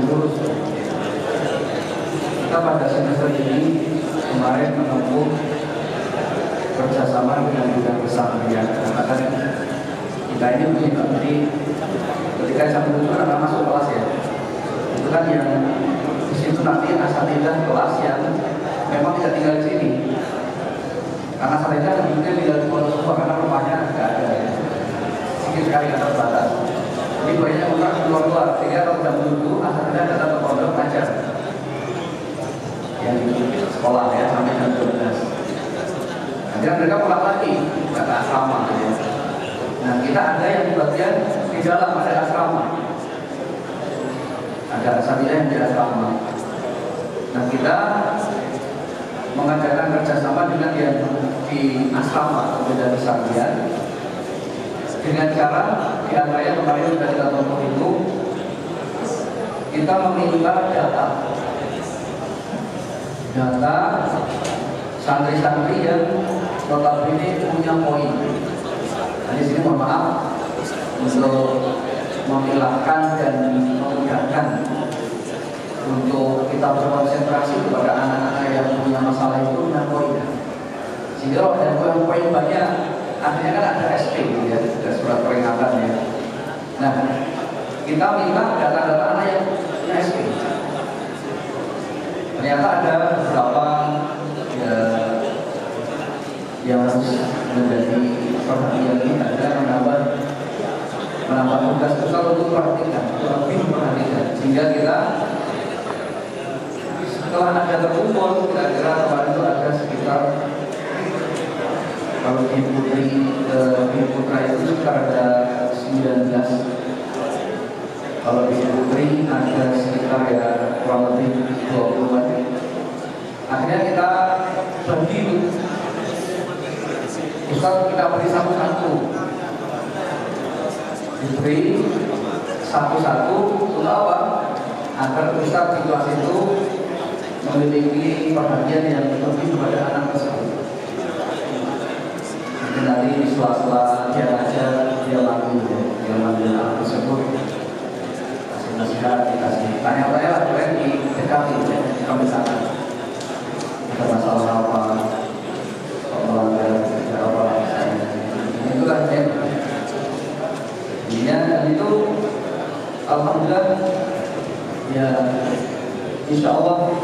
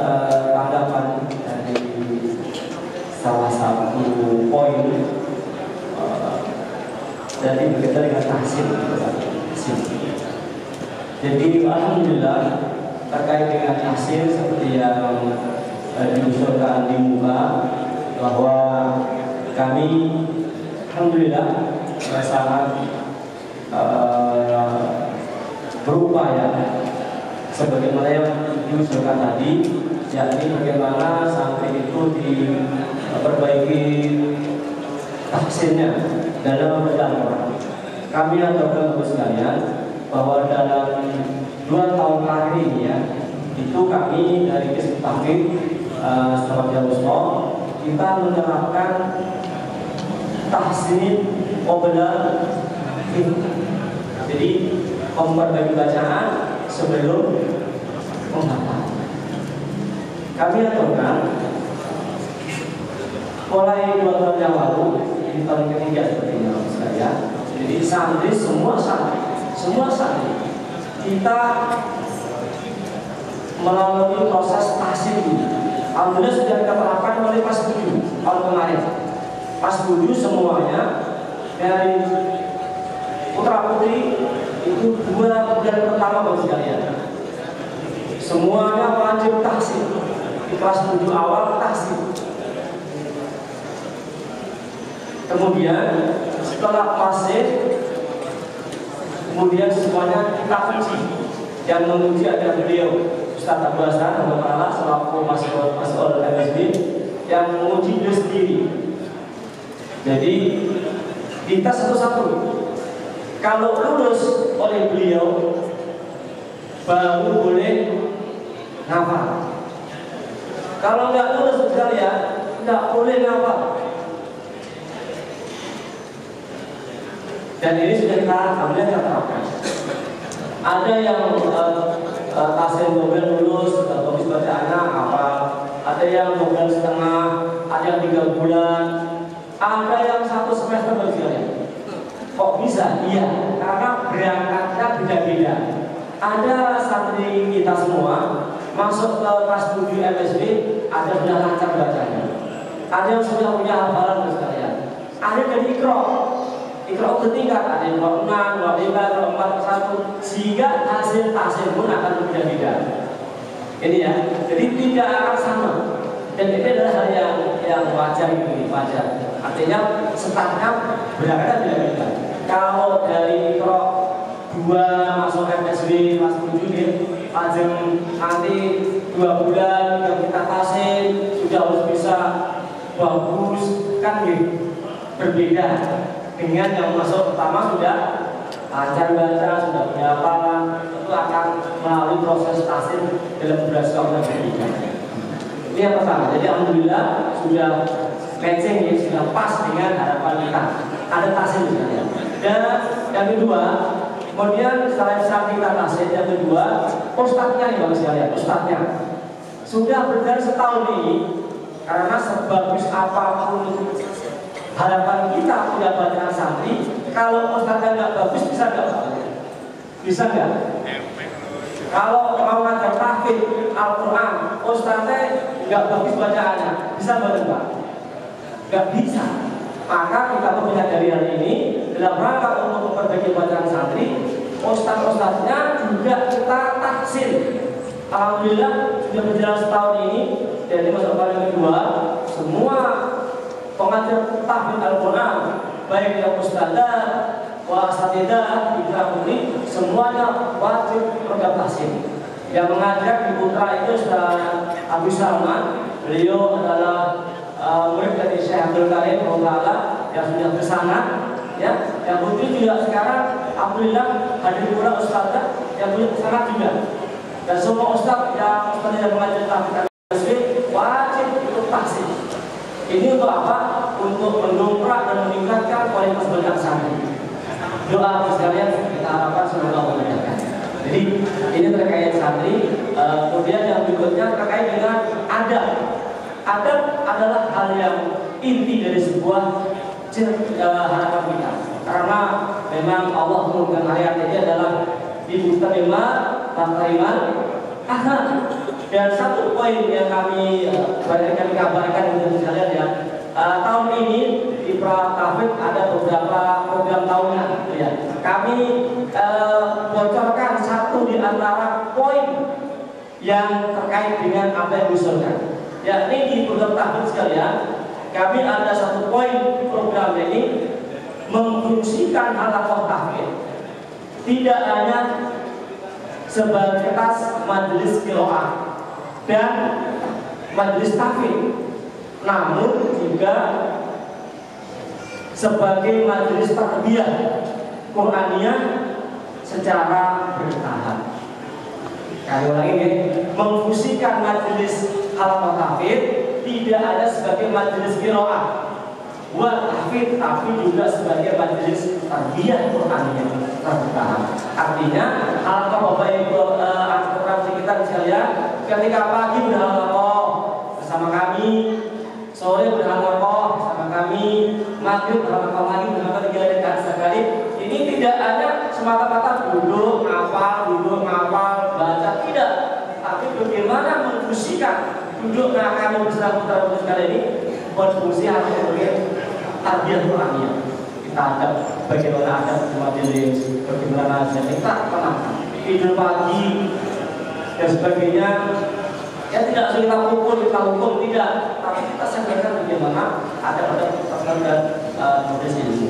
Ya ini catatan itu jadi ya doa dan apa setelah kita tidak sebenarnya kita semuanya semoga memudahkan sehingga harapan kita bisa tercapai secara bertahap dan Demikian dari kami Kafir ya semoga menjadi uh, tidak dimaklumi dan tidak semuanya. Coba. Itu Bapak Ibu kami lupa ya mungkin perkenalan lagi saya sendiri kalau sudah paham ya saya bilang lagi itu keamanan atau sebuah ini di masa stop di sana saya ini alhamdulillah status sebagai wakil afid ya status status Purnomo MDB dia juga sebagai apa yang menggerakkan api Quran di Boston kepada Budi dan ini sampai saya Pak Fajri Pak Fajri ini Insya Allah sudah sudah menyelesaikan studinya S2 di UMS Alhamdulillah dan di sampingnya lagi Ustaz Taufik Budi Santoso SPJ beliau sebagai bidang tarbiyah saya bidang tarbiyah di pesantren dan sampingnya saya lagi itu sepak saya yang berjunjung terus sebagai wakil pesantren putri di semua santriwati yang ada hal yang kita ada kata-kata kan beliau selalu tahu jadi yang sampai lagi setelah Bayu sampai kok. PDI beliau Santrian Putra. Ini Santrian Putra eh, bagian bagian tarbiyah dan sampai lagi satu kelas tadi sudah menyampaikan tentang kegiatan beliau kepala kegiatan ketua nasihat di menjaga Solo. Dan yang terakhir adalah Sriono ST, dan beliau adalah kurikulum ya, kurikulum dan ujian di Madrasah Salafiyah Usman. Ya, itu mungkin apa yang saya sampaikan.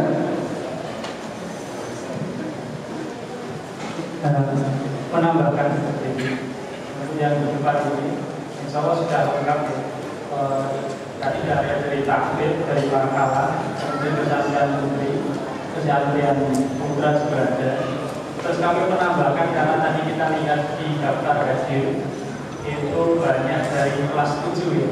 Kelas 7 maka untuk kesempatan kali ini kita hadirkan pula atau bina kabar kelas 7 khusus kita hadirkan pembina kabar kelas 7 nanti kalau misalnya dari wali santri kelas 7 ada eh, ada apa namanya sharing yang bisa disampaikan nanti bisa disampaikan langsung kepada video yang paling selatan Ustaz Abu Sama jadi kami di kesantrian ini uh, di antara kami sampaikan di sini supaya nanti uh, Bapak Ibu tidak apa namanya uh, tidak bingung di kesantrian putra khususnya kami di kesantrian putra itu ada bagiannya masing-masing. Nah, jadi selain ada ke maskul maskul kesantrian, maskul kesantrian ini dibantu oleh wakil maskul, yang mana wakil maskul ini setiap angkatan itu didampingi satu ustaz. Jadi satu ustaz nanti mendampingi maskul untuk mengurusi satu angkatan. Jadi yang kelas 7 nanti satu bersama. Jadi kelas 7 A, B maupun C langsung pada satu bersama. Kelas 8 nanti ada satu. Kelas 9 nya langsung ke sana Bayu ini juga ada di sini. Maka mungkin nanti mewakili kesantrian karena kami lihat tadi di daftar hadir paling banyak itu kelas 7 mungkin nanti bisa warisan kelas 7 bisa sharing. Perihal dengan kelas 7 kemudian untuk yang kumahat mungkin atau warisan putri.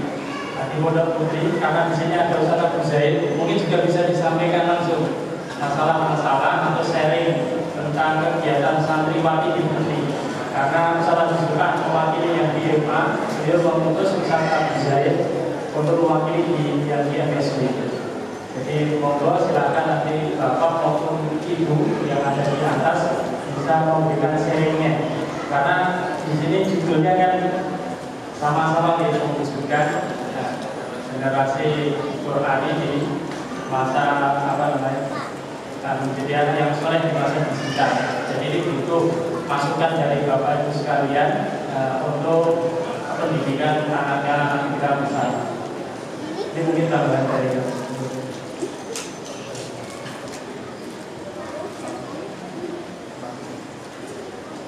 untuk masalah santri tadi, nah nanti kelihatannya tujuannya kelas tujuh pak ya. Nah, kelas tujuh nanti peserta baik untuk peserta bersama bisa nyampaikan. Karena beliau langsung yang uh, apa namanya menangani kasusnya misalnya. Moga. Itu jaga kita.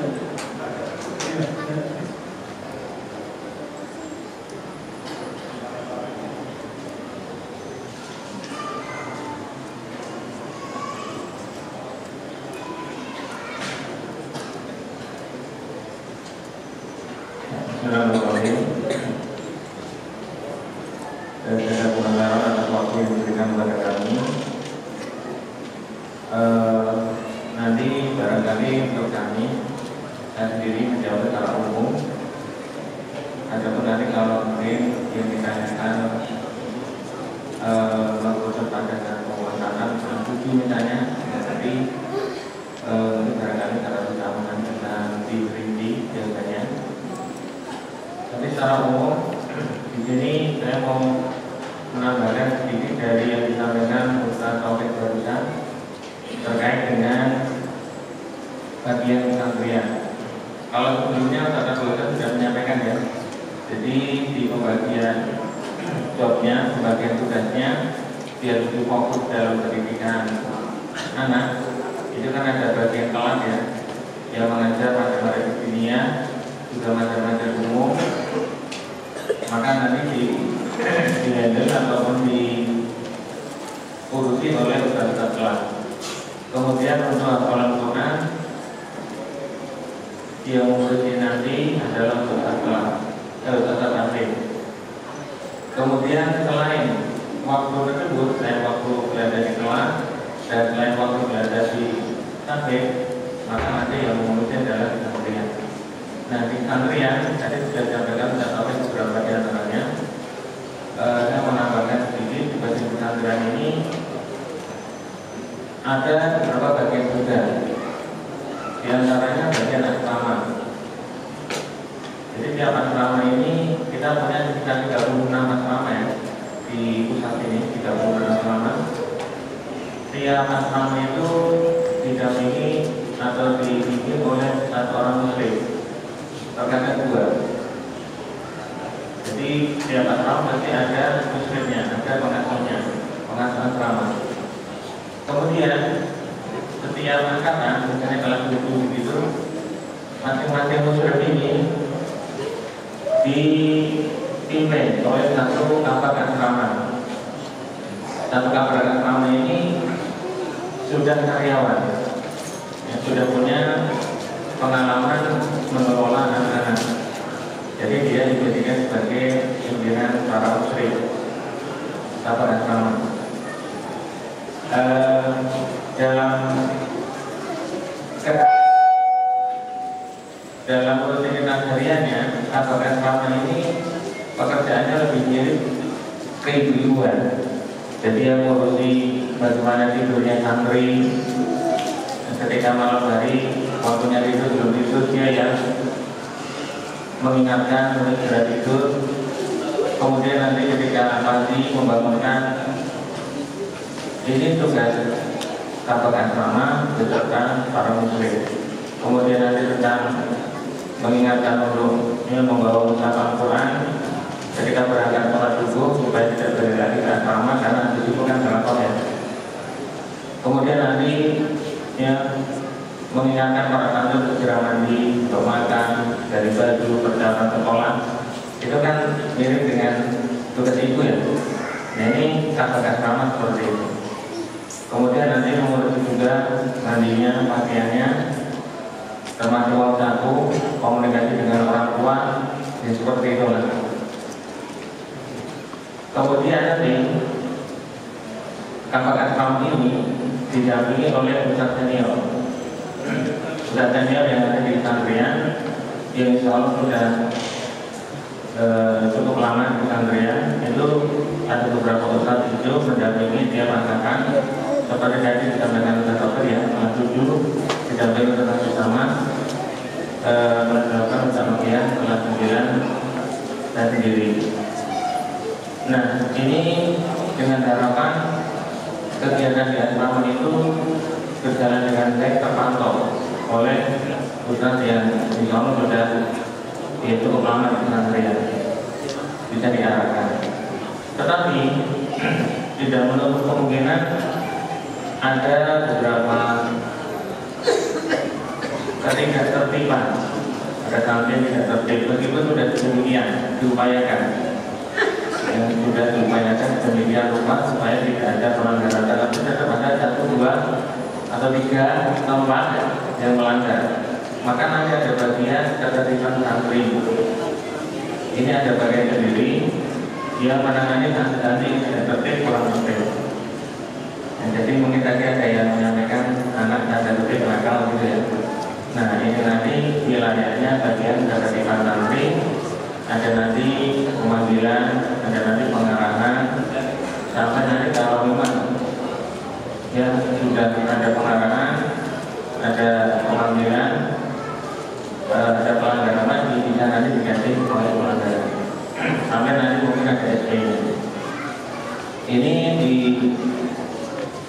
uh, diatur pada di tadi oleh Satpol yang tadi menyampaikan barusan beserta timnya. Jadi umum sebetulnya anak-anak ini diarahkan normal berjalan. Ada tadi-tadi yang melanggar ada bagian yang melanggar. Kemudian nanti kalau sudah SP, yang sudah masuk-masuk dengan dan SP itu nanti masuk ke bagian takbir. Ketika santri itu mengupayakan santri itu tidak sampai dapat SP. Jadi betul-betul diupayakan seperti itu tidak ada pelanggaran. Tapi kalau memang ya, ada pelanggaran ya tidak bisa ditahan tidak bisa dicegah sampai anak-anak dapat SP maka nanti diarahkan ke bagian lain yaitu bagian tarbiyah nanti akan ada bimbingan khusus lagi lebih intens di situ karena dia istilahnya sudah lolos dari kesulitan santri jadi perlu untuk lebih spesifik lagi. Di tarbiyah ini insya Allah nanti kalau juga mau e, diperlukan nanti akan dilibatkan e, dari psikolog. Ini sementara alhamdulillah di pesantren ada satu psikolog dan kita berharap nanti ada psikolog lagi untuk bisa mendampingi kita di pesantren. Jadi secara umum rentangnya seperti itu gitu. Secara umum anak-anak diarahkan oleh muslim pengasuh diatur oleh kapal asrama kalau ada yang melanggar nanti ditangani kemudian dari santri jadi kayak keluarga yang bapaknya gitu kalau ada dari santri itu yang lebih tegas kalau ibu kan lebih cenderung untuk lembut ya untuk ngomong gitu. kalau yang keterlibatan santri ini lebih cenderung untuk tegasnya kemudian nanti kalau misalnya saya ada bagian tarbiyah eh, barangkali itu yang di kesantrian. Kemudian kalau sudah dikasih ya, nah itu nanti akan disampaikan juga bagian masalah Ustaz barusan ini daftar santri-santri yang mendapatkan uh, poin pelanggaran dari sahabat SD. Nah di bagian masalah Ustaz-Ustaz nanti juga menuju menuju beberapa Ustaz kelas untuk ikut serta uh, tanda kutip ya dandani anak-anak yang kena SPI ya, untuk membimbing juga untuk mengarahkan juga uh, supaya minimal lanjut tidak ada pelanggaran lagi Sokor nanti bisa berubah gitu ya karena ditangani berbagai bagian sebagai ini bagian itu bagian itu insya Allah semoga bisa baik. Nah, barangkali secara umum seperti itu eh, penanganan yang ada di masalah kita sendiri. Demikian barangkali dari kami. Saya Ya, sedikit menambahkan dari kegiatan yang sudah ditanyakan tadi mengenai taksim di awal sudah kita buka peminat secara peminatan. Ternyata para santri ketika dibuka eksploitasi peminatan tidak ada yang. Jadi ya terpaksa saya mengambil data dari bagian hal tafid mungkin ada di antara mereka yang butuh bantuan lebih penanganan kasus ini. Jadi kita ya semester ini yang gabung di Tasik 13 santri kita yang dirasa masih butuh bantuan. Ya itu mungkin yang bisa dijawab kemudian juga ada pun kalau waktu itu tidak ada di ya di kelas. Kalau tasin ada di jadwal KBM nya di kelas. Jadi saya kira ya saya mencari yang santri yang dibutuhkan di, di, diperlukan untuk di, dibantu. Kemudian untuk jenis ekskul badminton, ekskul badminton ini memang pelatihnya juga ya, mohon maaf juga sibuk sepertinya ya. Beliau juga ada jam di kelas pelajaran IPA kemudian juga jadi TU TU semester kemudian juga nangani badminton. Jadi mohon maaf kalau apa jamnya mungkin ya banyak trennya mohon maaf. Insya Allah di semester depan kita akan tambah pelatih yang fresh yang lebih aktif insya Allah. Nah mungkin bisa dijawab bisa terjawab soal dari panjenengan dan sebagainya juga menjawab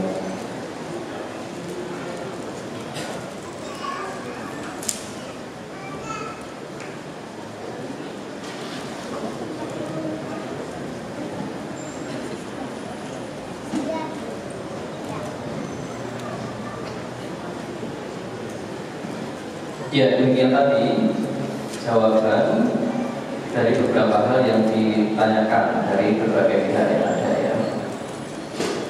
Untuk berikutnya eh, kami beri kesempatan untuk yang di atas ya. Next sudah disediakan sebetulnya.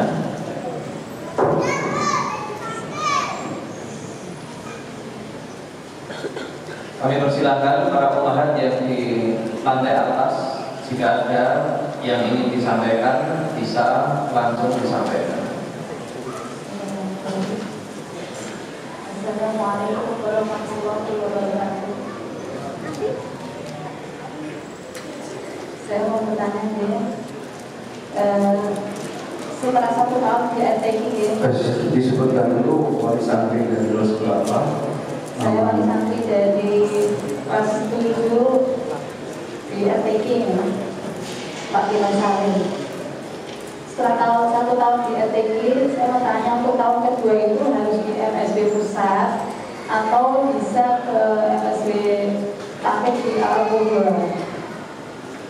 Kemudian yang selanjutnya untuk target MSB eh, yang MSB biasa yang putri itu targetnya berapa juz?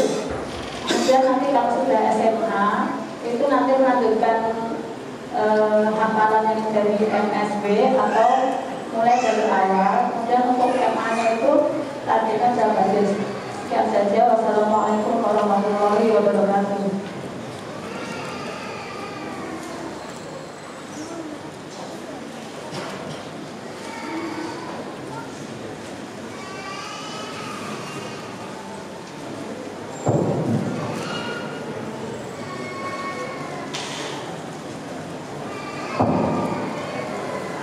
Ya terima kasih Ibu yang bertanya dari wali santri di rumah kafe Gayam. Ini mungkin saya kembali menyampaikan kepada Bapak Ibu wali santri bahwa di Muspa ini juga ada eh, istilahnya apa ya masa karantina covid di RTI istilahnya begitu lah ya untuk untuk mempercepat pencapaian hafalan Al-Quran itu ada namanya rumah covid yang ini diambil dari santri-santri reguler yang ada di sini tidak banyak akan tetapi perlu diketahui bahwa ini memang tidak seperti yang ada di Ukhuwah dua ini yang betul-betul istilahnya eh, program yang utuh yang sampai tiga tahun gitu ya. Bahkan nanti mungkin insya Allah mudah-mudahan kita doakan bisa sampai SMA-nya juga SMA Atafid gitu ya. Nah jadi kalau di RTG ini cukup singkat ya karena cuma hanya setahun gitu ya lalu pindah ke sini. Ya pindah ke sini lagi. Karena itu cuma apa ya tempat tinggal yang milik saudara kita. Mereka sangat menginginkan agar dimanfaatkan untuk belajar Quran gitu ya. Sehingga kita kemarin dari pimpinan pondok pesantren berinisiatif memakainya untuk ya ini untuk anak-anak dipilih berapa dia belajar di sana banyak Al-Qurannya tapi hanya setahun ya. dan tapi ya itu senantiasa kita terus eh, perhatikan dan kita terus mutabaah kira-kira nanti hal-hal yang uh, positif negatifnya tetap kita nanti terus pertimbangkan. Adapun untuk pindah ke MSC Cafe sepertinya juga tidak memungkinkan ya karena dari sisi kuota juga sudah sangat sangat terbatas ya 30 itu dari sana sudah sangat terbatas sehingga tidak mungkin ditambah lagi sehingga kembalinya ke pusat. Adapun yang target hafalan untuk yang muskol ini Bapak Ibu jadi target kita itu 9 juz tetapi standar kelulusannya itu 6 gitu ya. Di paling tidak nanti lulus SMP itu 6 juz wajib 6 juz lancar ya. Tapi dengan targetnya 9 Tapi meskipun demikian Bapak Ibu tidak sedikit yang sudah lebih tidak sedikit yang lebih tapi juga tidak sedikit yang kurang jadi semuanya ada uh, sesuai dengan kemampuan anak-anak. Karena semata-mata karunia dari Allah. Kita mau maksa-maksa itu hafal Allah belum berikan kemudian untuk hafal ya. Susah. Seperti bapak rasakan bilang hafal itu ya. Karena hafal itu ada sekarang hafal bukan kemudian gila. Ya sudah lupa semua kayak atau sekarang apa itu sudah lupa. Ya kita sudah sepuh sepuh ini anak kita juga demikian kalau kurang semangat kalau itu mungkin nanti ya tadi kurang mungkin ya kurang lancar. Itu mungkin tanggapan saya ibu mudah-mudahan bisa dimaklumi Allah kalau menambahkan sedikit tadi ada pertanyaan lagi kan untuk yang kemah itu targetnya berapa gitu ya apakah dilanjutkan dari MSB atau mulai dari awal ini kami jawab. Untuk yang MSB itu targetnya 9 juz tapi minimal 6 juz itu dari belakang. Jadi dari juz 30 29 dan seterusnya. Adapun untuk MA itu juga targetnya 6 juz tapi dari depan.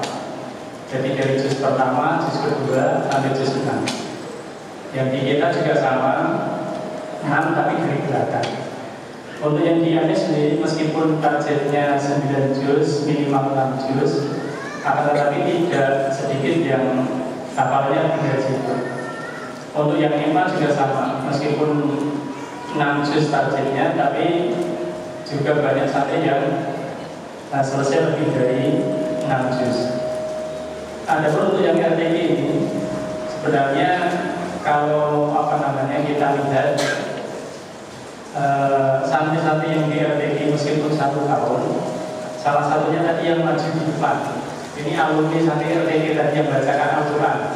So santri kita namanya bisa mungkin itu dulu santri RTG juga.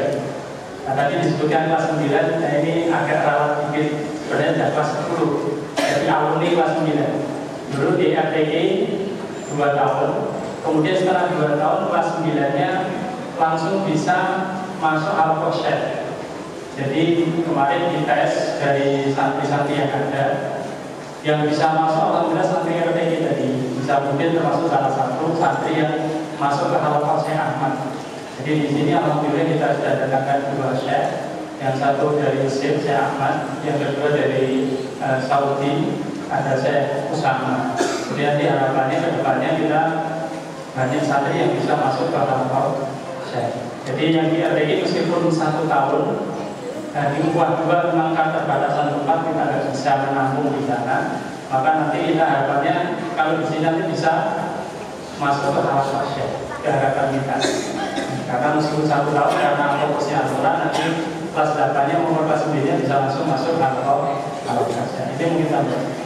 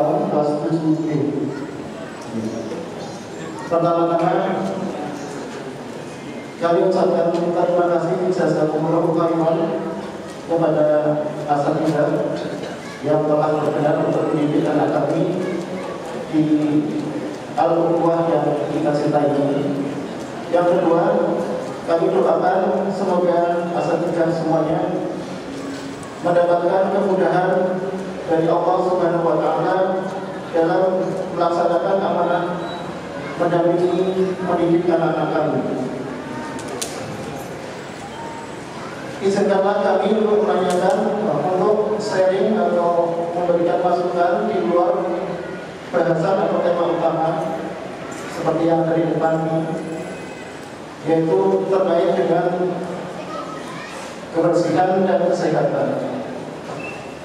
Asatidah yang kami gunakan pada Allah selama satu semester ini anak kami tiga kali mendapatkan sakit yang tidak cukup satu atau dua hari sembuhnya. Jadi yang pertama karena kakinya ketatap dan itu di dalam lapisan kulitnya itu ada serpihan kayu sehingga kami minta izin untuk membawa ke rumah sakit untuk dilakukan pembedahan. Yang kedua, Ananda terkena cacar, lalu tertular dari temannya yang baru selesai sembuh, sehingga Ananda istirahat di rumah sampai dua bulan. Dan yang ketiga, pada ketika kepulangan kemarin, Ananda tertular batuk yang sampai sekarang ketika mau perpulangan ini mau kembali ke pondok malah demam. Jadi mungkin anda memberikan masukan kepada pihak pondok e, kalau bisa kepada anak-anak itu berikan apa seperti pengecekan rutin karena untuk anak-anak terutama anak kelas 7 ini inisiatif mereka sangat kurang untuk datang sendiri ke klinik yang sudah tersedia di sini. Alhamdulillah kita sudah memiliki klinik dengan dokter-dokter yang profesional. Sehingga amat disayangkan kalau tidak dimanfaatkan dengan baik. Nah, pengecekan rutin itu apakah berjalan secara sebulan sekali atau seminggu sekali? Moga bisa diatur dengan baik. Sehingga misalnya seperti yang pertama tadi ketika kami melakukan penyembuhan lukanya itu sudah bernanah itu karena mungkin perawatannya kurang memadai atau misalnya antisipasi seperti apa sehingga penyakit-penyakit yang menular itu tidak menular kepada teman-temannya yang sehat demikian mungkin dari kami saya Assalamualaikum warahmatullahi wabarakatuh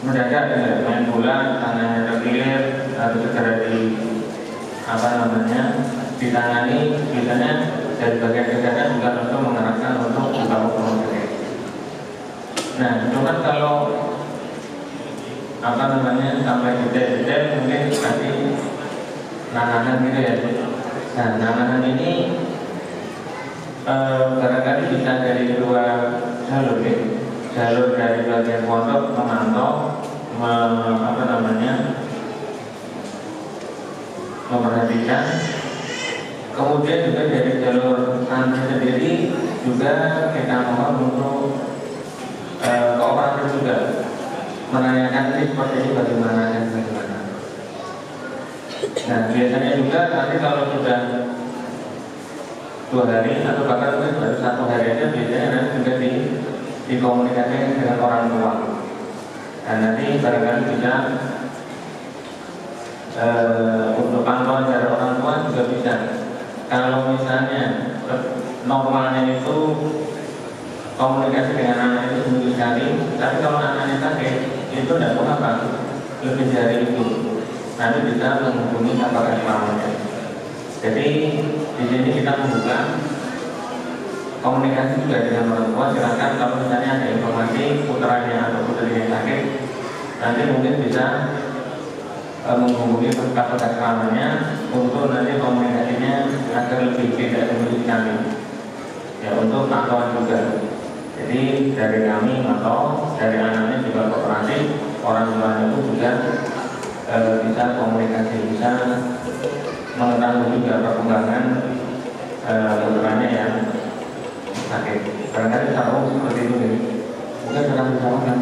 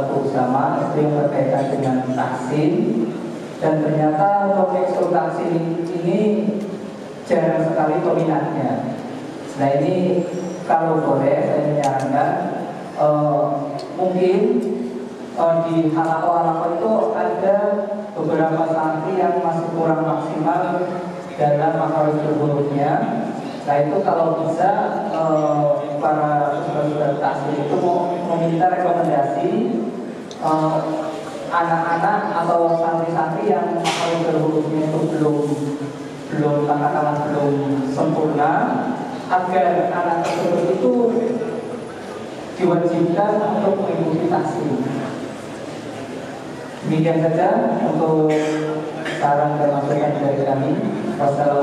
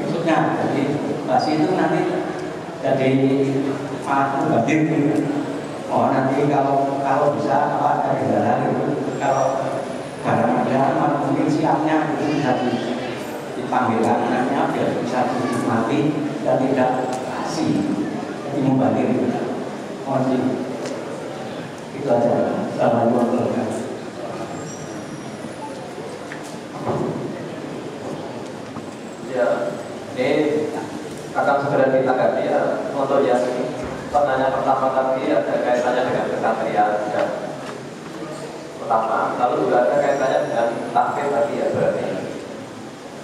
Nah ini loh yang pertama tadi dulu. Nah dari pihak kesatria ya e, menanggapinya tentang tadi e, kesempatan untuk telepon dengan orang tuanya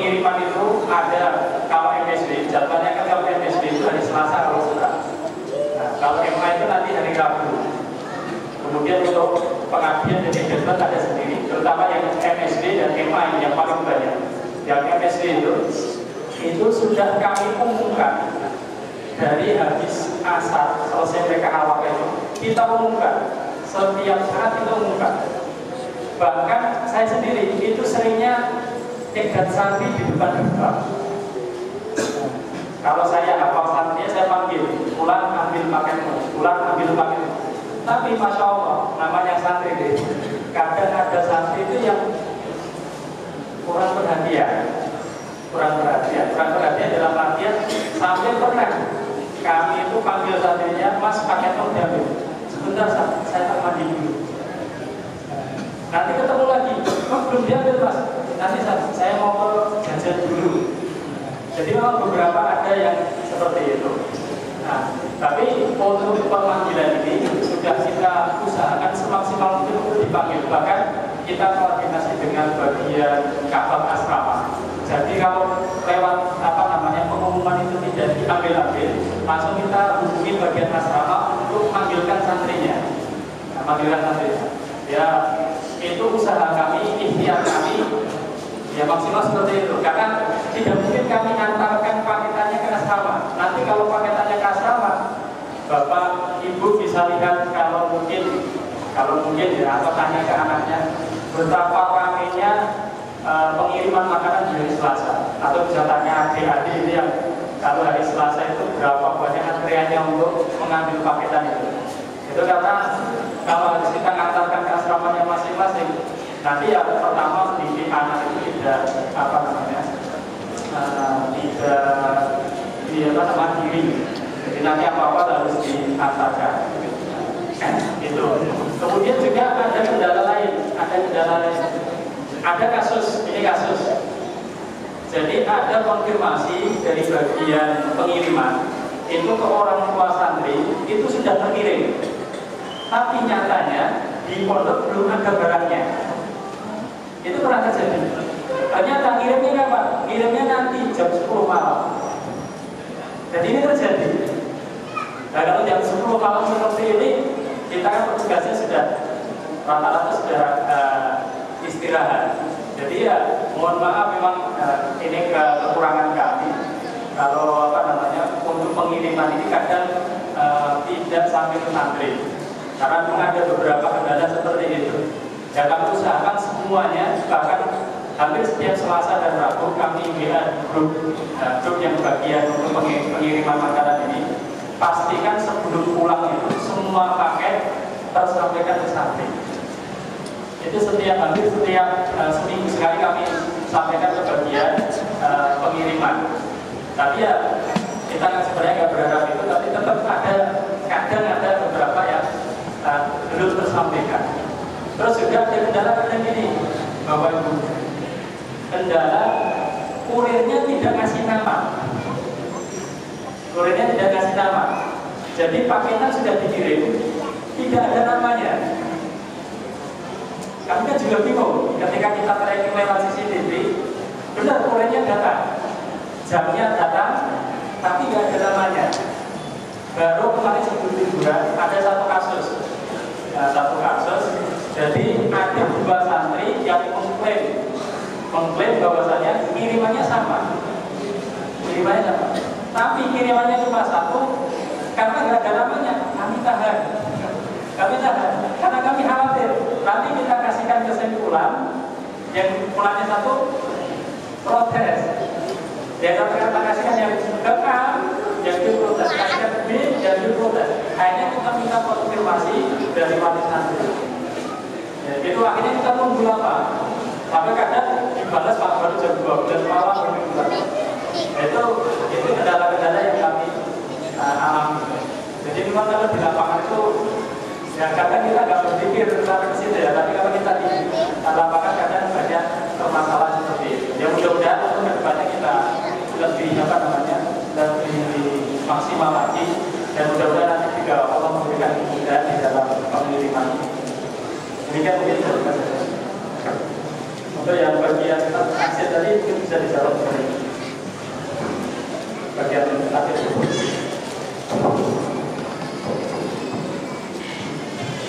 Baik, terkait dengan santri yang bacaannya kurang, kemudian ditahsin gitu ya.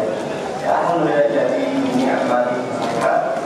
Ya, Allah yang mengatur semua kehidupan kita. Alhamdulillah, yang sudah kami. Alhamdulillah.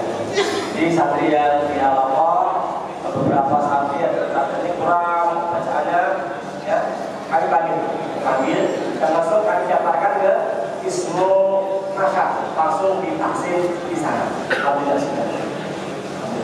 Mungkin ini jawaban kami singkat, ya, karena sudah sesuai dengan apa yang kita harapkan semuanya. Alhamdulillah.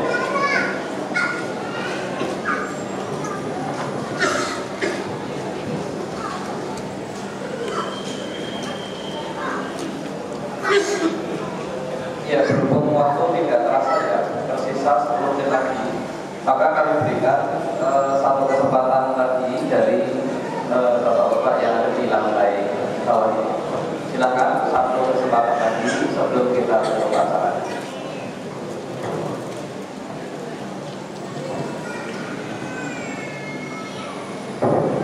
Ya, silakan.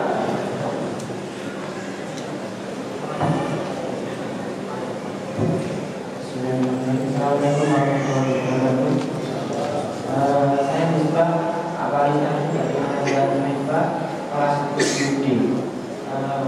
Jazakumullah kepada para asabila uh, terutama materi yang disampaikan oleh Ustaz Abu Sulaiman dan Abu Hasan.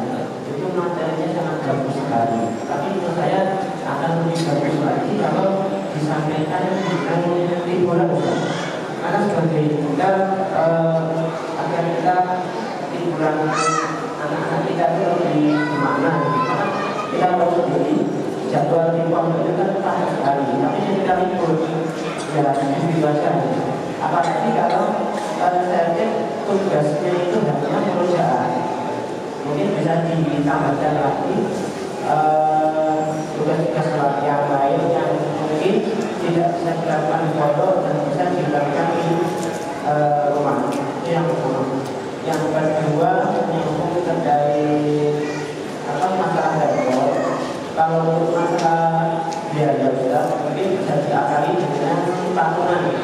Saya yakin kalau misalnya biasa patungan di HP eh, para warisan itu lebih senang gitu karena apa? Dari sisi kami itu lebih murah kalau patungan di awal tapi teleponnya pakai telepon WA daripada uh, kita harus dipakai telepon yang tidak maaf terus jarang kan kita gunakan terus untuk masalah ini untuk yang bagian video call itu praktek yang selama ini. Kan kalau nggak salah video callnya kan di ruang khusus yang itu nyampur dengan yang lain. Uh, selama ini cek itu suaranya bocor.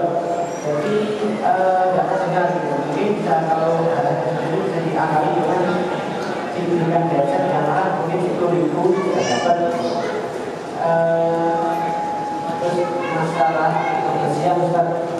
Saya sangat setuju apabila dilakukan pengecekan setiap hari. Pengecekan itu nggak harus langsung datang ke asrama mungkin pengecekan juga bisa dilakukan oleh guru-guru kelas. Mungkin salah satunya apakah ini santri itu sudah mandi atau belum Ustaz ya karena kita tahu sendiri uh, di asrama di pondok ini kan untuk akses mandi kan ya selain kamar mandi terbatas waktunya juga terbatas. Itu kemudian juga untuk sebesar yang lain.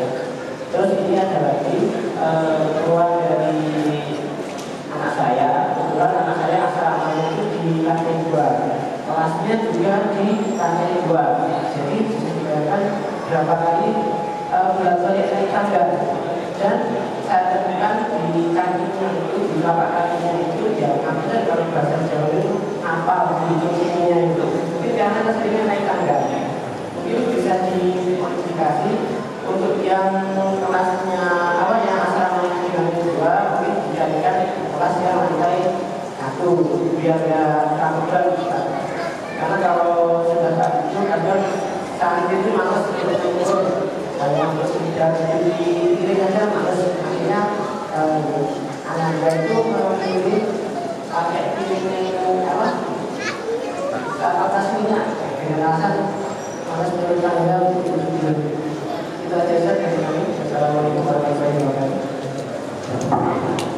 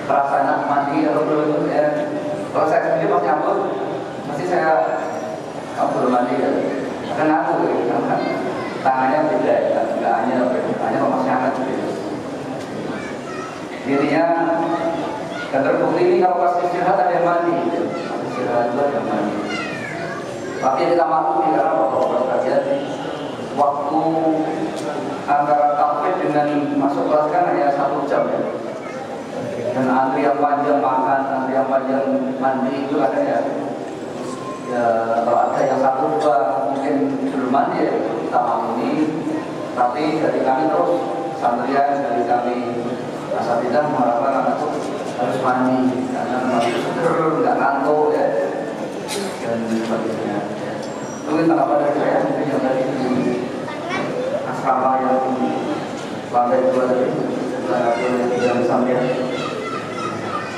Kemudian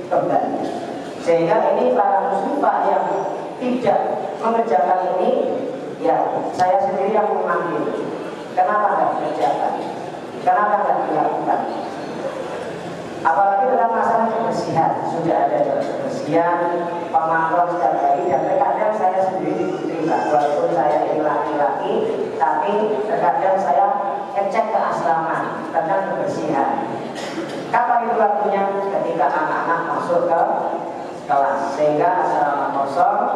Asrama itu kalau kosong kegiatan santri bulan asrama itu berusaha asramanya kita kunci biar mengurangi atau meniadakan adanya pencurian sehingga kalau saya mau masuk izin dengan saudaranya atau kakak satu yang mereka sudah berkeluarga atau kuncinya diserahkan ke kakak ketiga sebagai bawahannya. Itu kita mau ngecek keadaan asrama secara sendiri tentang kebersihan atau barang-barang yang mereka bawa ternyata pelanggaran. Contohnya sering kita dapati anak-anak itu lolos masuk ke pondok membawa komik. Ya buku-buku cerita yang isinya nggak layak bagi para santriwati itu dijajah. Bukan pelatih pendidik tapi adalah anak-anak ini ternyata contohnya dalam perbuatan maksiat. Jadi kita dapat ibu seperti itu. Sehingga untuk eh, usia di asrama alhamdulillah sudah sana, sehingga juga masih banyak opsi-opsi yang kita tempuh tentang kebersihan tersebut. Kan sedikit yang bisa kita sampaikan dari esa